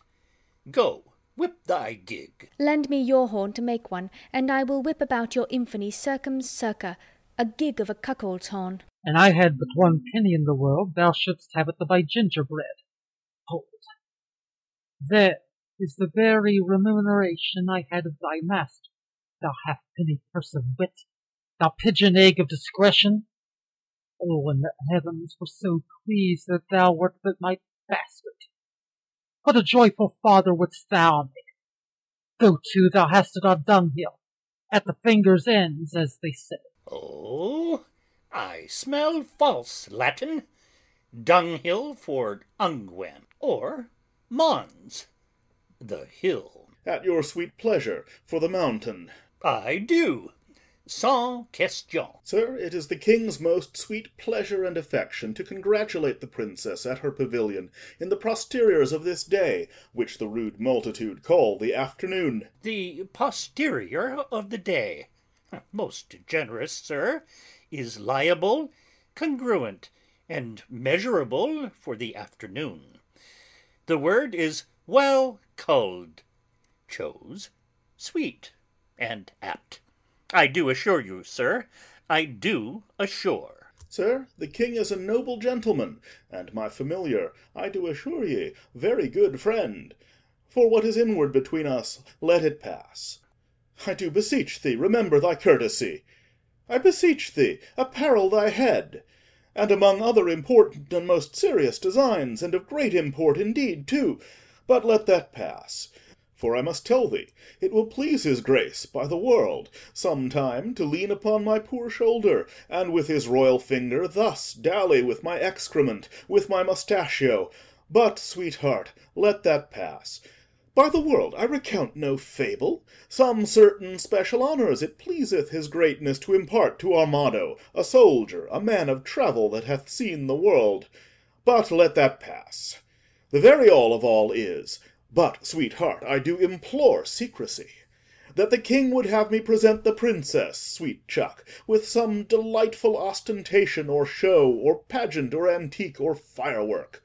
Now, understanding that the curate and your sweet self are good at such eruptions and sudden breaking out of mirth, as it were, I have acquainted you withal, to the end to crave your assistance. Sir, you shall present before her the nine worthies.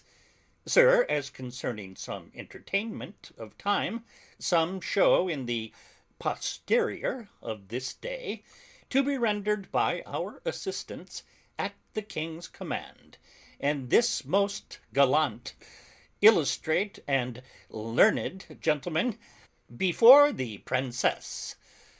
I say none so fit as to present the nine worthies. Where will you find men worthy enough to present them? Joshua, yourself. myself and this gallant gentleman, Judas Maccabeus. This swain, because of his great limb or joint, shall pass Pompey the Great. The page Hercules. Pardon, sir. Error. He is not quantity enough for that worthy's thumb. He is not so big as the end of his club. Shall I have audience? He shall present Hercules in minority. His enter and exit shall be strangling a snake, and I will have an apology for that purpose. An excellent device. So if any of the audience hiss, you may cry, Well done, Hercules! Now thou crushest the snake. That is the way to make an offence gracious, though few have the grace to do it. For the rest of the worthies? I will play three myself. Thrice worthy gentlemen. Shall I tell you a thing? We attend. We will have, if this fadge not, an antique. I beseech you, follow. Via, good man Dull, thou hast spoken no word all this while. Nor understood none neither, sir. Allons, we will employ thee. I'll make one in a dance, or so, or I will play on the tabor to the worthies, and let them dance the hay. Most dull, honest Dull. To our sport, away! Exeunt. Scene 2. Enter the Princess, Catherine, Rosaline, and Maria. Sweethearts, we shall be rich ere we depart, if farings come thus plentifully in. A lady walled about with diamonds. Look you what I have from the loving king. Madam, came nothing else along with that? Nothing but this. Yes, as much love in rhyme as would be crammed up in a sheet of paper, writ a both sides, the leaf, margent, and all, that he was fain to seal on Cupid's name. That was the way to make his godhead wax, for he hath been five thousand years a boy. Ay, and a shrewd unhappy gallows too. You'll ne'er be friends with him, killed your sister. He made her melancholy, sad, and heavy, and so she died. Had she been light, like you, of such a merry, nimble, stirring spirit, she might have been a grandam ere she died, and so may you, for a light heart lives long. What's your dark meaning, Mouse, of this light word? A light condition in a beauty dark. We need more light to find your meaning out. You'll mar the light by taking it in snuff. Therefore I'll darkly end the argument. Look what you do, you do it still i' the dark. So do not you, for you are a light wench. Indeed, I weigh not you, and therefore light. You weigh me not? Oh, that you care not for me. Great reason, for past cure is still past care. Well bandied both, a set of wit well played. But Rosaline, you have a favour too. Who sent it, and what is it? I would you knew. And if my face were but as fair as yours, my favour were as great. Be witness this. Nay, I have verses too, I thank Biron. The number's true, and were the numbering too, I were the fairest goddess on the ground. I am compared to twenty thousand fairs. Oh, he hath drawn my picture in his letter. Anything like? Much in the letters, nothing in the praise. Beauteous as ink. A good conclusion. Fair as a text be in a copybook. Where pencils, ho! Let me not die your debtor. My red dominical, my golden letter. Oh, that your face were not so full of O's. A pox of that jest, and I beshrew all shrouds. But, Catherine, what was sent to you from fair Dumain? Madam, this glove. Did he not send you twain? Yes, madam, and moreover some thousand verses of a faithful lover, a huge translation of hypocrisy, vilely compiled, profound simplicity. This and these pearls to me sent Longueville. The letter is too long by half a mile. I think no less.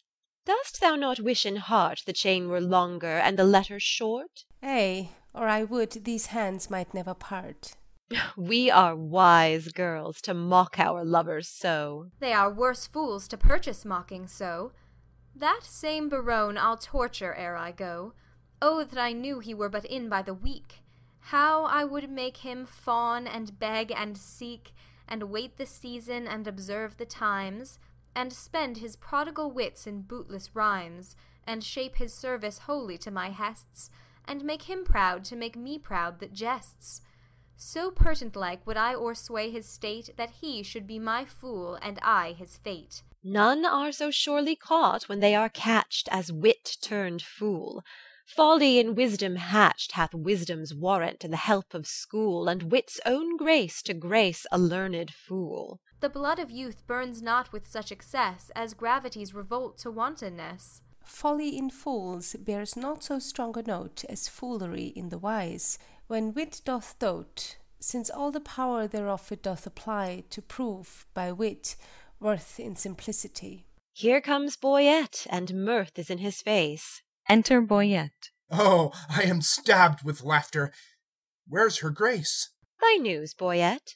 Prepare, madam, prepare! Arm, wenches, arm! Encounters mounted are against your peace. Love doth approach disguised, armed in arguments. You'll be surprised. Muster your wits, stand in your own defense, Or hide your heads like cowards and fly hence. Saint Denis to Saint Cupid! What are they that charge their breath against us? Say, scout, say. Under the cool shade of a sycamore I thought to close mine eyes some half an hour, When lo, to interrupt my purposed rest, Toward that shade I might behold addressed The king and his companions. Warily I stole into a neighbor thicket by, And overheard what you shall overhear, That by and by disguised they will be here. Their herald is a pretty knavish page, That well by heart hath conned his embassage. Action and accent did they teach him there, Thus must thou speak, and thus thy body bear. And ever and anon they made a doubt Presence majestical would put him out. For, quoth the king, an angel shalt thou see, Yet fear not thou, but speak audaciously. The boy replied, An angel is not evil. I should have feared her had she been a devil. With that all laughed and clapped him on the shoulder, Making the bold wag by their praises bolder. One rubbed his elbow thus, and fleered, and swore A better speech was never spoke before. Another with his finger and his thumb cried, Via, we will do't, come what will come. The third he capered, and cried, All goes well. The fourth turned on the toe, and down he fell. With that they all did tumble on the ground, With such a zealous laughter so profound, That in this spleen ridiculous appears, To check their folly, passion's solemn tears. But what, but what, come they to visit us? They do, they do, and are apparelled thus, Like Muscovites or Russians, as I guess. Their purpose is to parley, to court and dance, And every one his love feet will advance Unto his several mistress, which they'll know By favors several which they did bestow. And will they so? The gallants shall be tasked. For ladies, we shall every one be masked, And not a man of them shall have the grace, Despite of suit, to see a lady's face. Hold, Rosaline, this favour thou shalt wear, And then the king will court thee for his dear. Hold, take thou this, my sweet, and give me thine, So shall Biron take me for Rosaline. And change your favours too, so shall your loves woo contrary, Deceived by these removes. Come on then, where the favours most in sight. But in this changing, what is your intent? The effect of my intent is to cross theirs. They do it but in mocking merriment, And mock for mock is only my intent. Their several counsels they unbosom shall To loves mistook, and so be mocked withal Upon the next occasion that we meet, With visages displayed, to talk and greet. But shall we dance if they desire to it? No, to the death we will not move a foot, Nor to their penned speech render we no grace, But while 'tis spoke, each turn away her face. Why, that contempt will kill the speaker's heart, And quite divorce his memory from his part. Therefore I do it, and I make no doubt The rest will ne'er come in, if he be out. There's no such sport as sport by sport o'erthrown, To make theirs ours, and ours none but our own. So shall we stay, mocking intended game, And they, well mocked, depart away with shame. Trumpets sound within.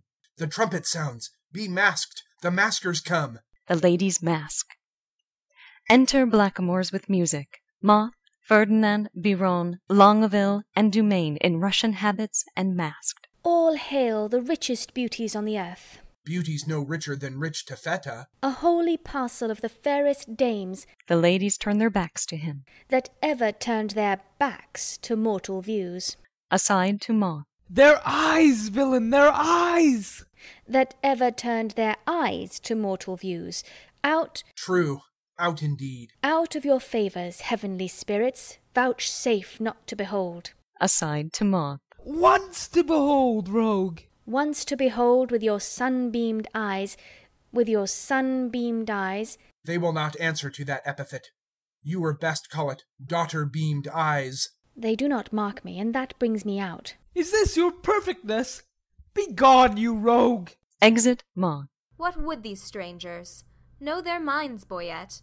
If they do speak our language, 'tis our will that some plain man recount their purposes, know what they would. What would you with a princess? Nothing but peace and gentle visitation. What would they, say they? Nothing but peace and gentle visitation. Why, that they have, and bid them so be gone. She says, You have it, and you may be gone. Say to her, We have measured many miles to tread a measure with her on this grass. They say that they have measured many a mile to tread a measure with you on this grass. It is not so. Ask them how many inches is in one mile.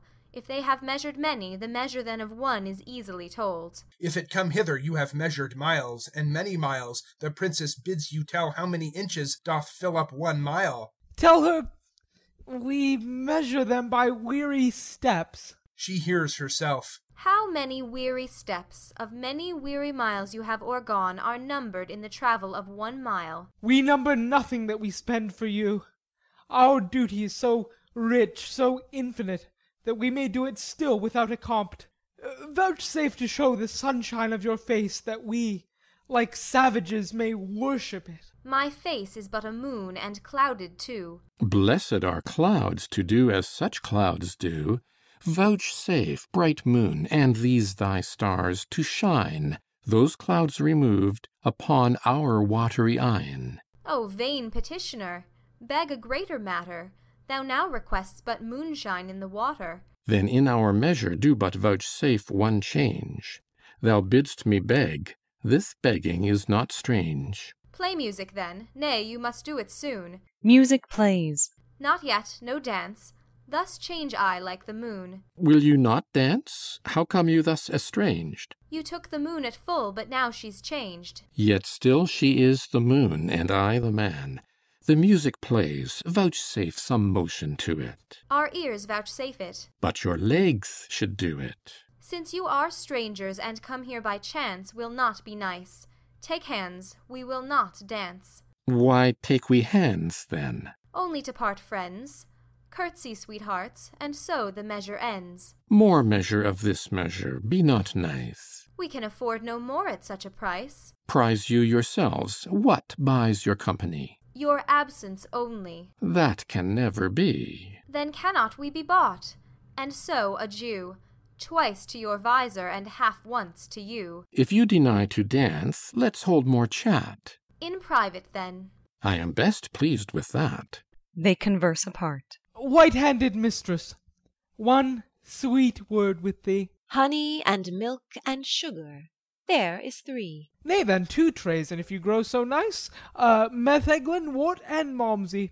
Well run dice. There's half a dozen sweets. Seventh sweet adieu. Since you can cog, I'll play no more with you. One word in secret. Let it not be sweet. Thou griev'st my gall. Gall? Bitter. Therefore meat. They converse apart. Will you voucher with me to change a word? Name it. Fair lady. Say you so? Fair lord, take that for your fair lady.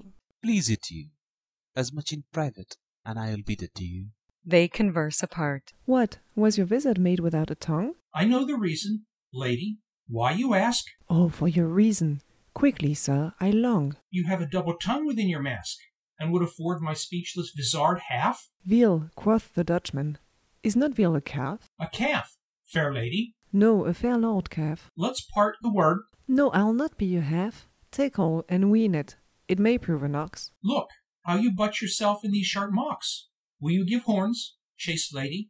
Do not so. Then die a calf before your horns do grow. One word in private with you, ere I die. Bleed softly then. The butcher hears you cry. They converse apart. The tongues of mocking wenches are as keen as is the razor's edge invisible, cutting a smaller hair than may be seen, above the sense of sense, so sensible seemeth their conference.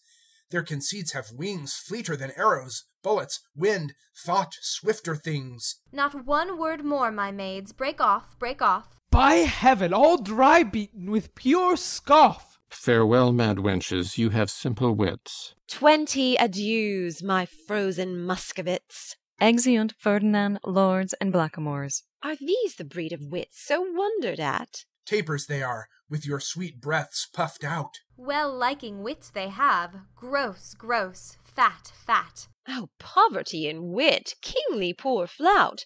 Will they not think you hang themselves to-night, or ever but in visage show their faces?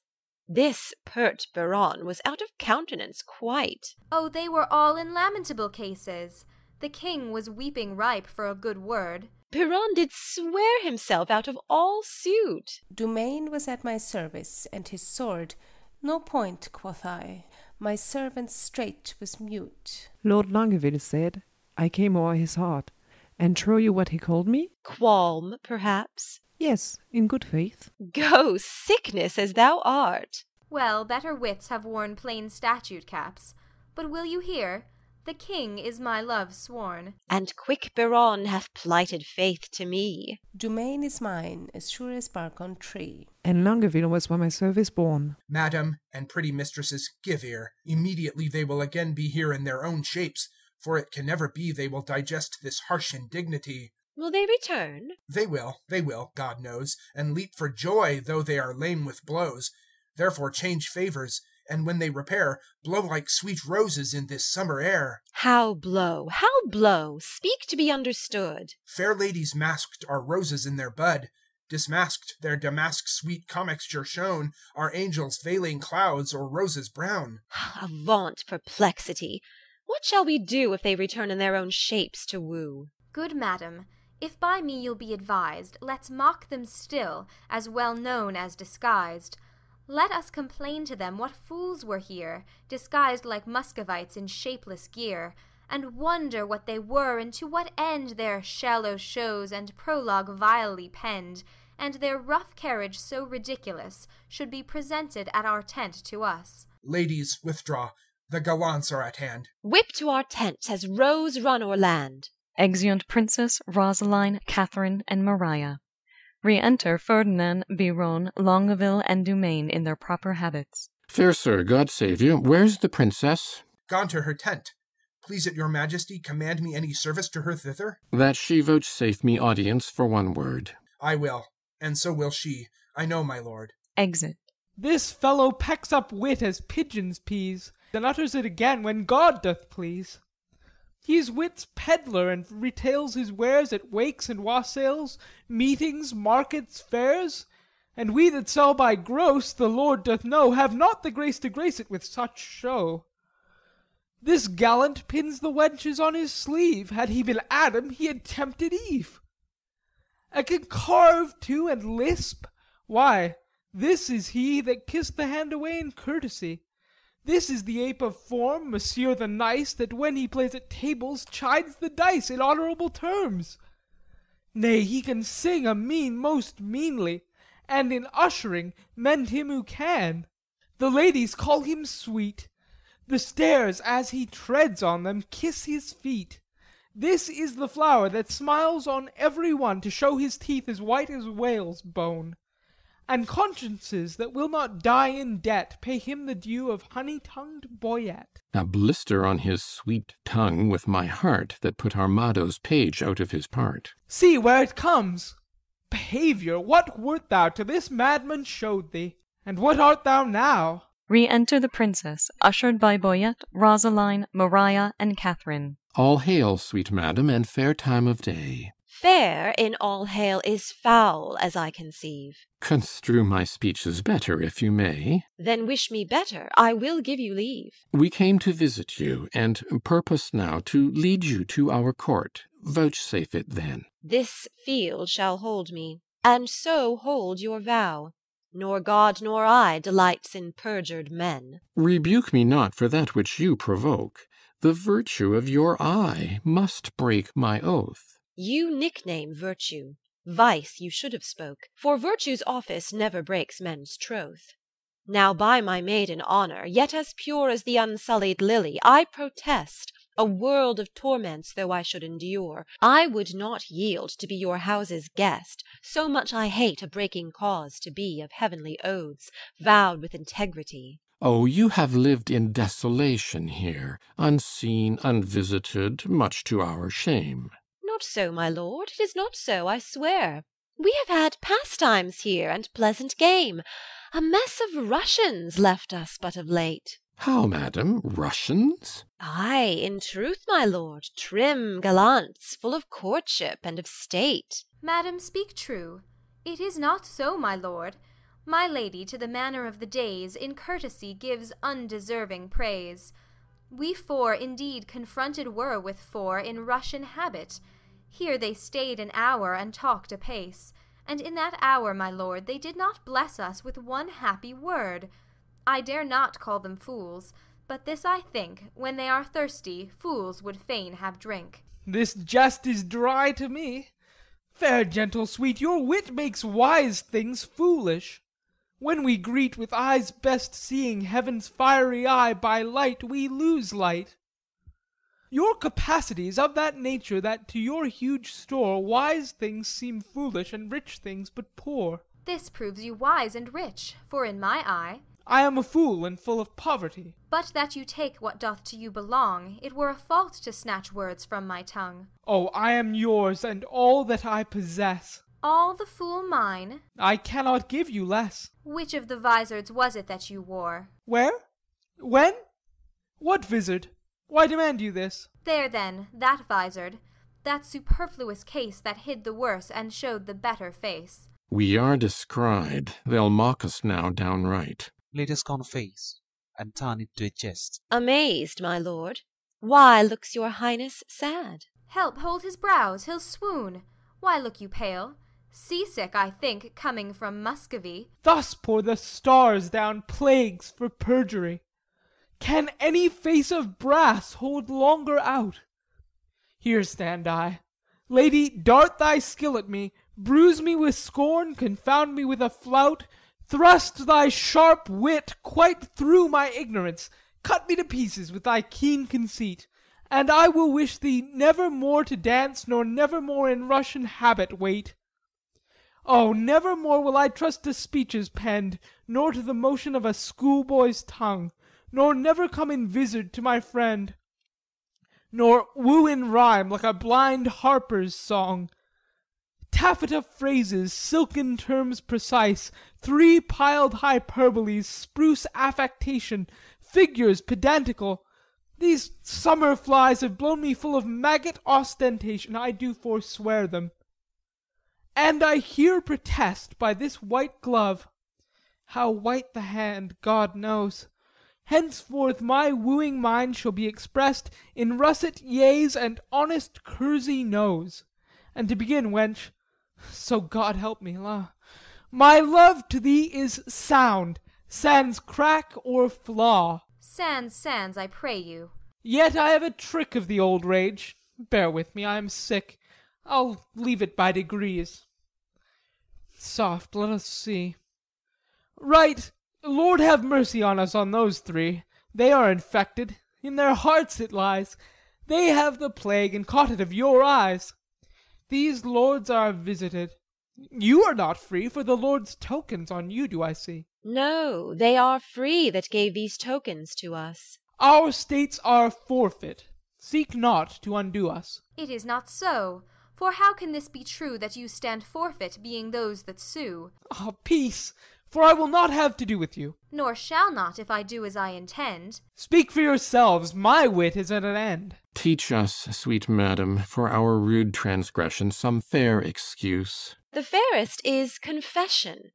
Were not you here but even now disguised? Madam, I was. And were you well advised? I was, fair madam. When you then were here, what did you whisper in your lady's ear? That more than all the world I did respect her. When she shall challenge this, you will reject her. Upon mine honour, no. Peace, peace, forbear.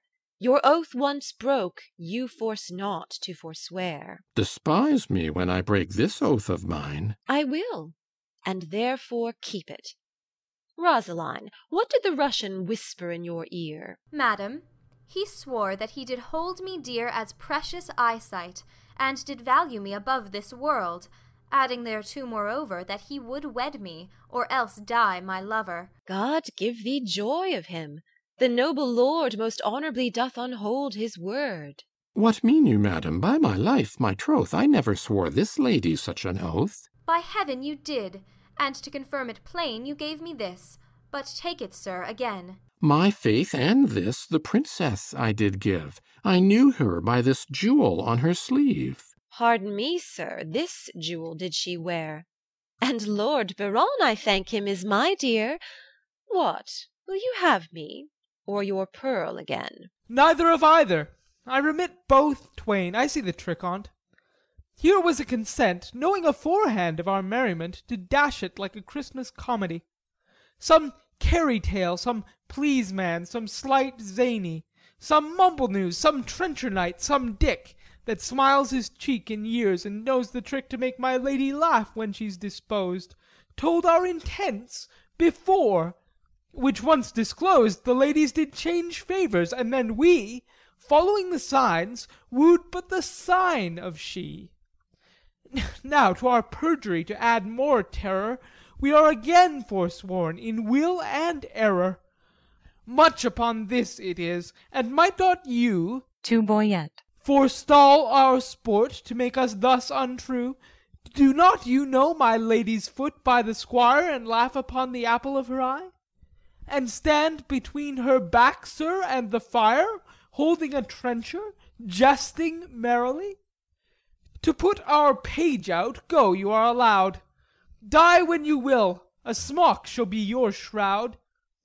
Do you leer upon me, do you?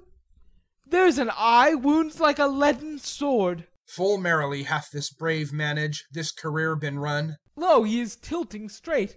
Peace, I have done. Enter Costard. Well, welcome, pure wit. Thou partest a fair fray. O lord, sir, they would know whether the three worthies shall come in or no. What, are there but three? I know, sir, but it's varo fini. For every one pursuance three. And three times thrice is nine. Not so, sir. Under correction, sir, I hope it is not so. You cannot beg us, sir. I can assure you, sir, we know what we know. I hope, sir, three times three, sir. Is not nine. Under correction, sir.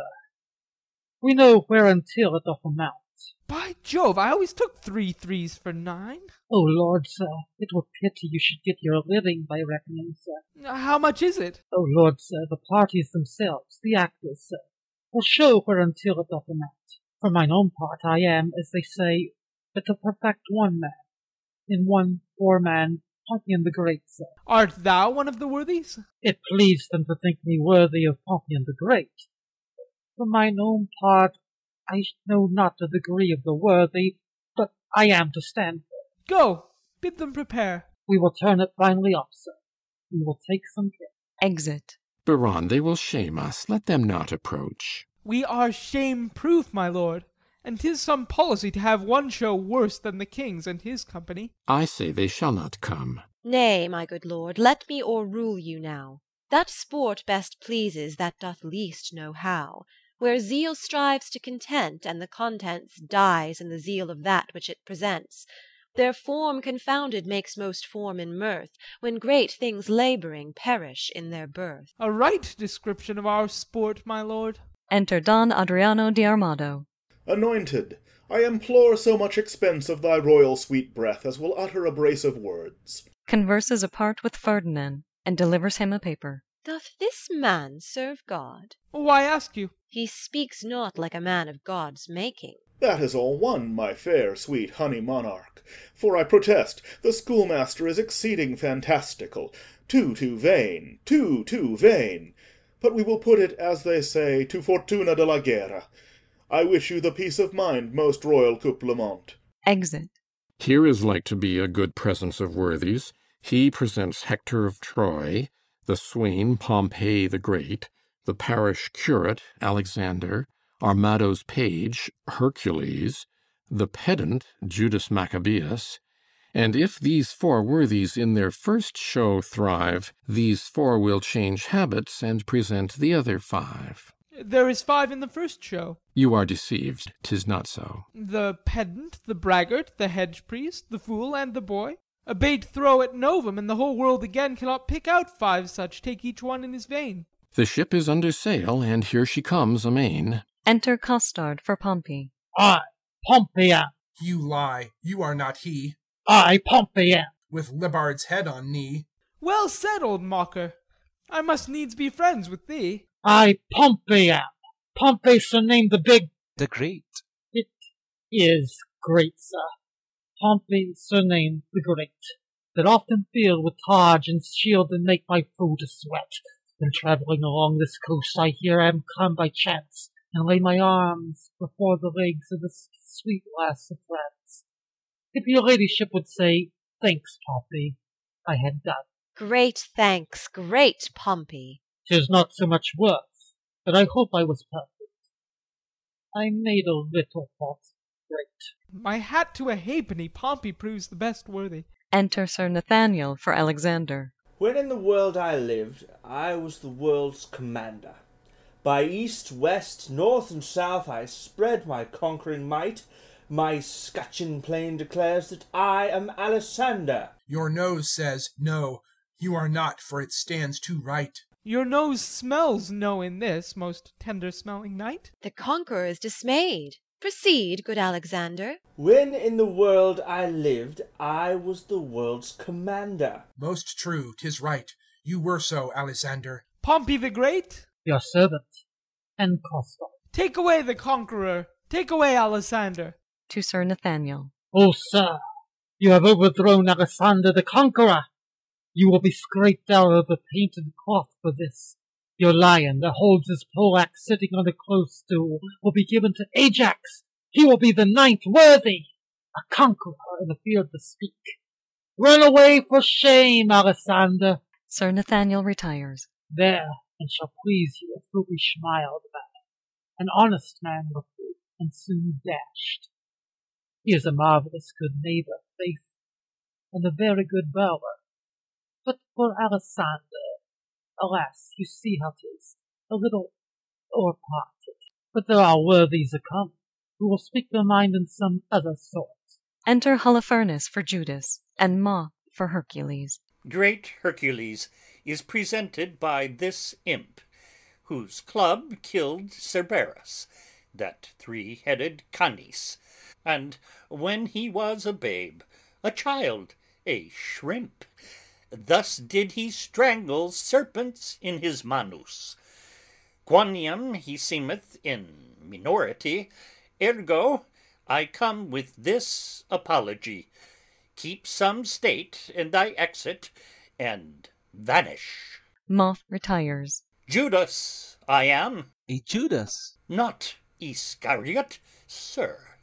Judas I am, eclipsed Maccabeus. Judas Maccabeus clipped is plain Judas. A kissing traitor. How art thou proved Judas? Judas I am. The more shame for you, Judas. What mean you, sir? To make Judas hang himself. Begin, sir.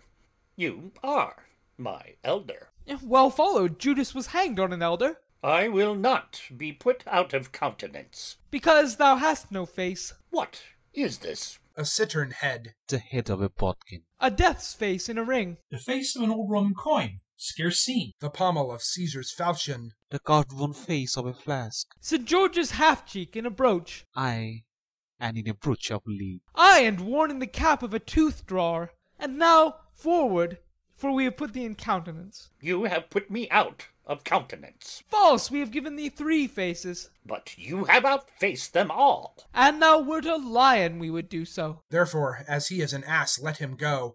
And so adieu, sweet Jude.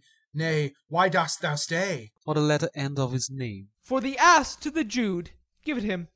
Judas, away! This is not generous, not gentle, not humble. A light from Monsieur Judas. It grows dark, he may stumble. Holofernes retires. Alas, poor Maccabeus, how hath he been baited?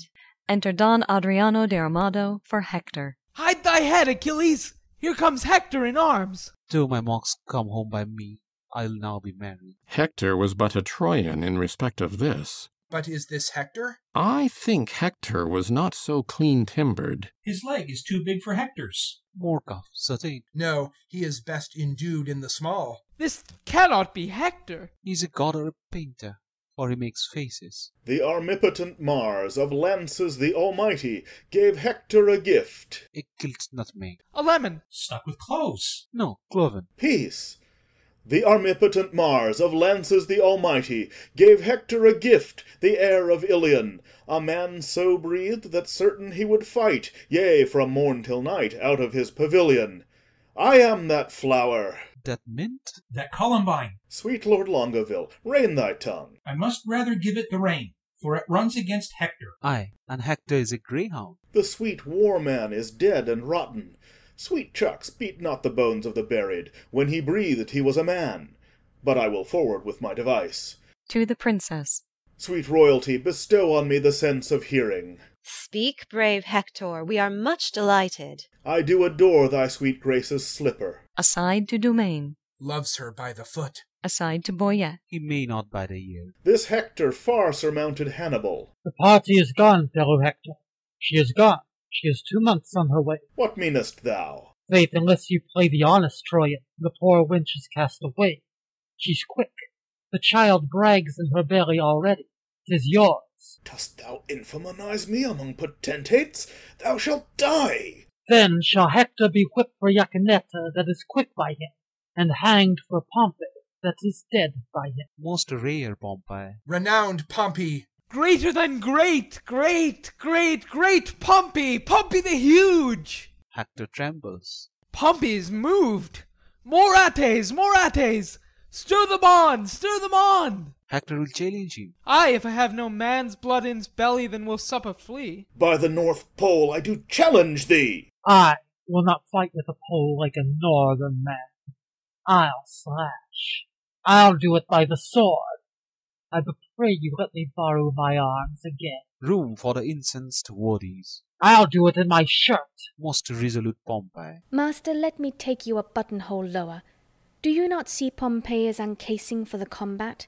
What mean you? You will lose your reputation. Gentlemen and soldiers, pardon me, I will not combat in my shirt. You may not deny it. Pompey hath made the challenge. Sweet bloods, I both may and will. What reason have you for it? The naked truth of it is, I have no shirt. I go woolward for penance. True, and it was enjoined him in Rome for want of linen, since when, I'll be sworn, he wore none but a dishclout of Jaquenetta's, and that a wears next his heart for a favour. Enter Mercade. God save you, madam. Welcome, Mercade, but that thou interrupts our merriment. I am sorry, madam, for the news I bring is heavy in my tongue. The king, your father, Dead. For my life. even so, my tale is told. Worthies, away, the scene begins to cloud. For mine own part, I breathe free breath. I have seen the day of wrong through the little hole of discretion, and I will right myself like a soldier. Exeunt worthies. How fares your majesty? Boyet, prepare. I will away tonight. Madam, not so. I do beseech you stay. Prepare, I say. I thank you, gracious lords, for all your fair endeavours, and entreat out of a new sad soul that you vouchsafe in your rich wisdom to excuse or hide the liberal opposition of our spirits, if overboldly we have borne ourselves in the converse of breath. Your gentleness was guilty of it. Farewell, worthy lord. A heavy heart bears not a nimble tongue.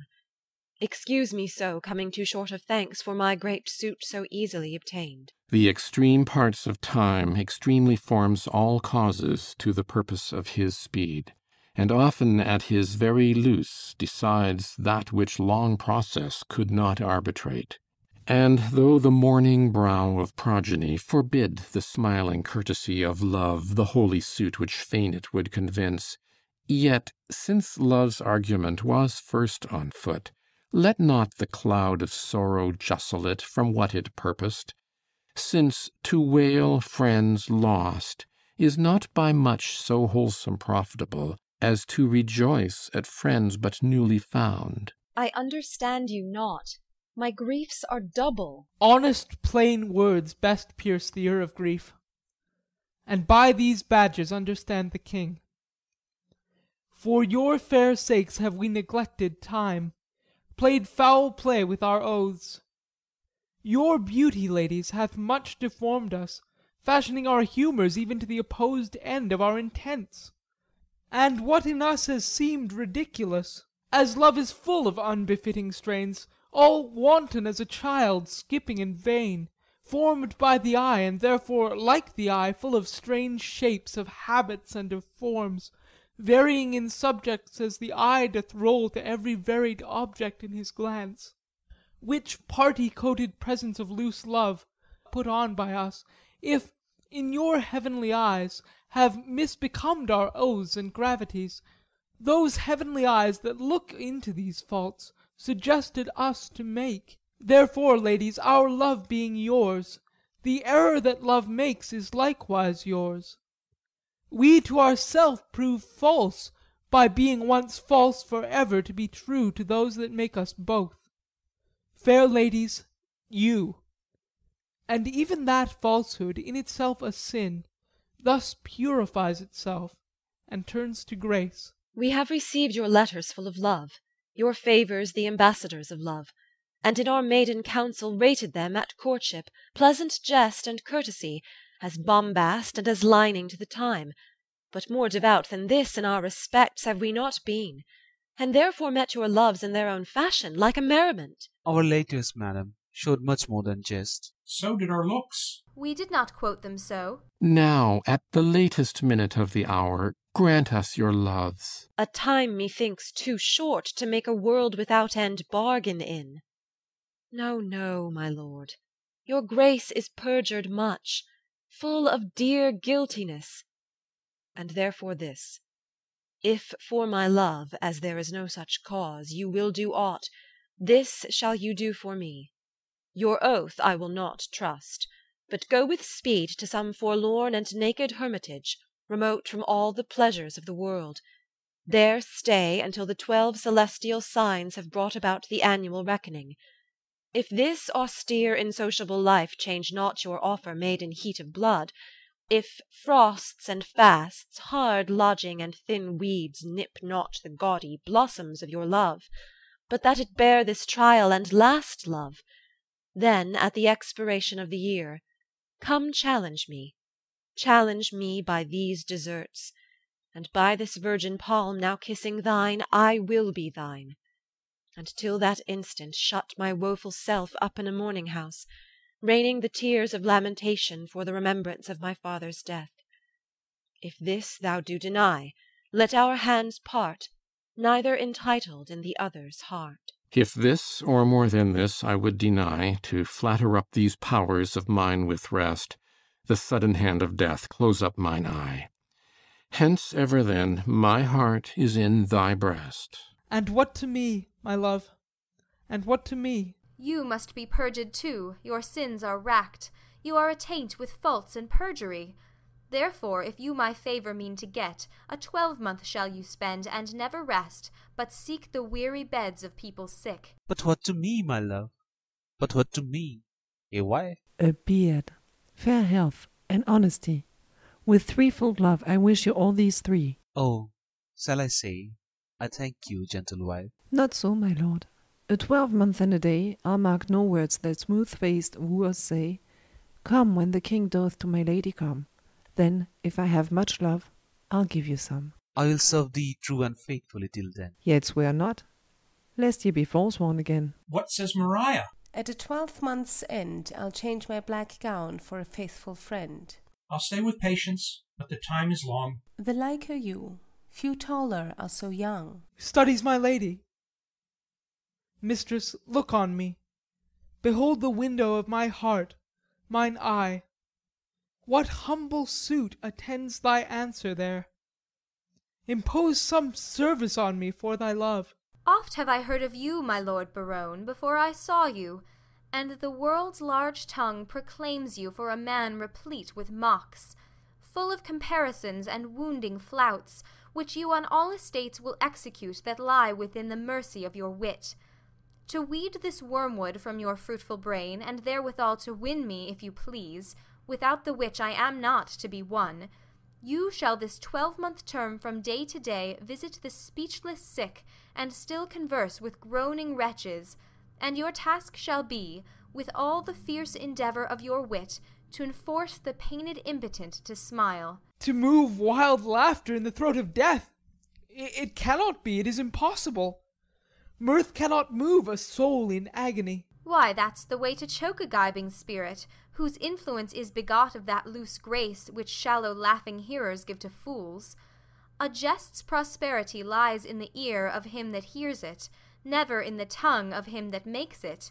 Then, if sickly ears, deft with the clamours of their own dear groans, will hear your idle scorns, continue then, and I will have you and that fault withal. But if they will not, throw away that spirit, and I shall find you empty of that fault, right joyful of your reformation. A twelvemonth! Well, befall what will befall, I'll jest a twelvemonth in an hospital. To Ferdinand. Ay, sweet my lord, and so I take my leave. No, madam, we will bring you on your way. Our wooing doth not end like an old play. Jack hath not Jill. These ladies' courtesy might well have made our sport a comedy. Come, sir, it wants a twelvemonth and a day, and then 'twill end. That's too long for a play. Re-enter Don Adriano de Armado. Sweet Majesty, vouchsafe me. Was not that Hector? The worthy knight of Troy. I will kiss thy royal finger and take leave. I am a votary. I have vowed to Jaquenetta to hold the plough for her sweet love three years. But, most esteemed greatness, will you hear the dialogue that the two learned men have compiled in praise of the owl and the cuckoo? It should have followed in the end of our show. Call them forth quickly. We will do so. Hola! Approach! Re-enter Holofernes, Sir Nathaniel, Moth, Costard, and others. This side is Hiems, winter. This, ver, the spring. The one maintained by the owl, the other by the cuckoo. Ver, begin. The song. When daisies pied and violets blue and lady smocks all silver white, and cuckoo buds of yellow hue do paint the meadows with delight, the cuckoo then on every tree mocks married men, for thus sings he Cuckoo, cuckoo, cuckoo, O word of fear, unpleasing to a married ear. When shepherds pipe on oaten straws, and merry larks are ploughmen's clocks, when turtles tread, and rooks, and daws, and maidens bleach their summer smocks, the cuckoo then on every tree mocks married men, for thus sings he Cuckoo, cuckoo, cuckoo, O word of fear, unpleasing to a married ear. Winter, when icicles hang by the wall, and Dick the shepherd blows his nail, and Tom bears logs into the hall, and milk comes frozen home in pail, when blood is nipped and ways be foul, then nightly sings the staring owl, to wit to woo, a merry note, while greasy Joan doth keel the pot.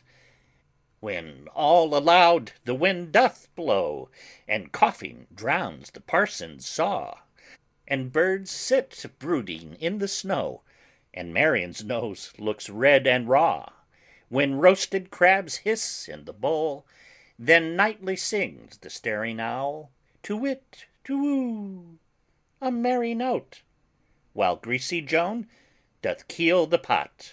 The words of Mercury are harsh after the songs of Apollo. You that way, we this way. Exeunt. End of Act 5.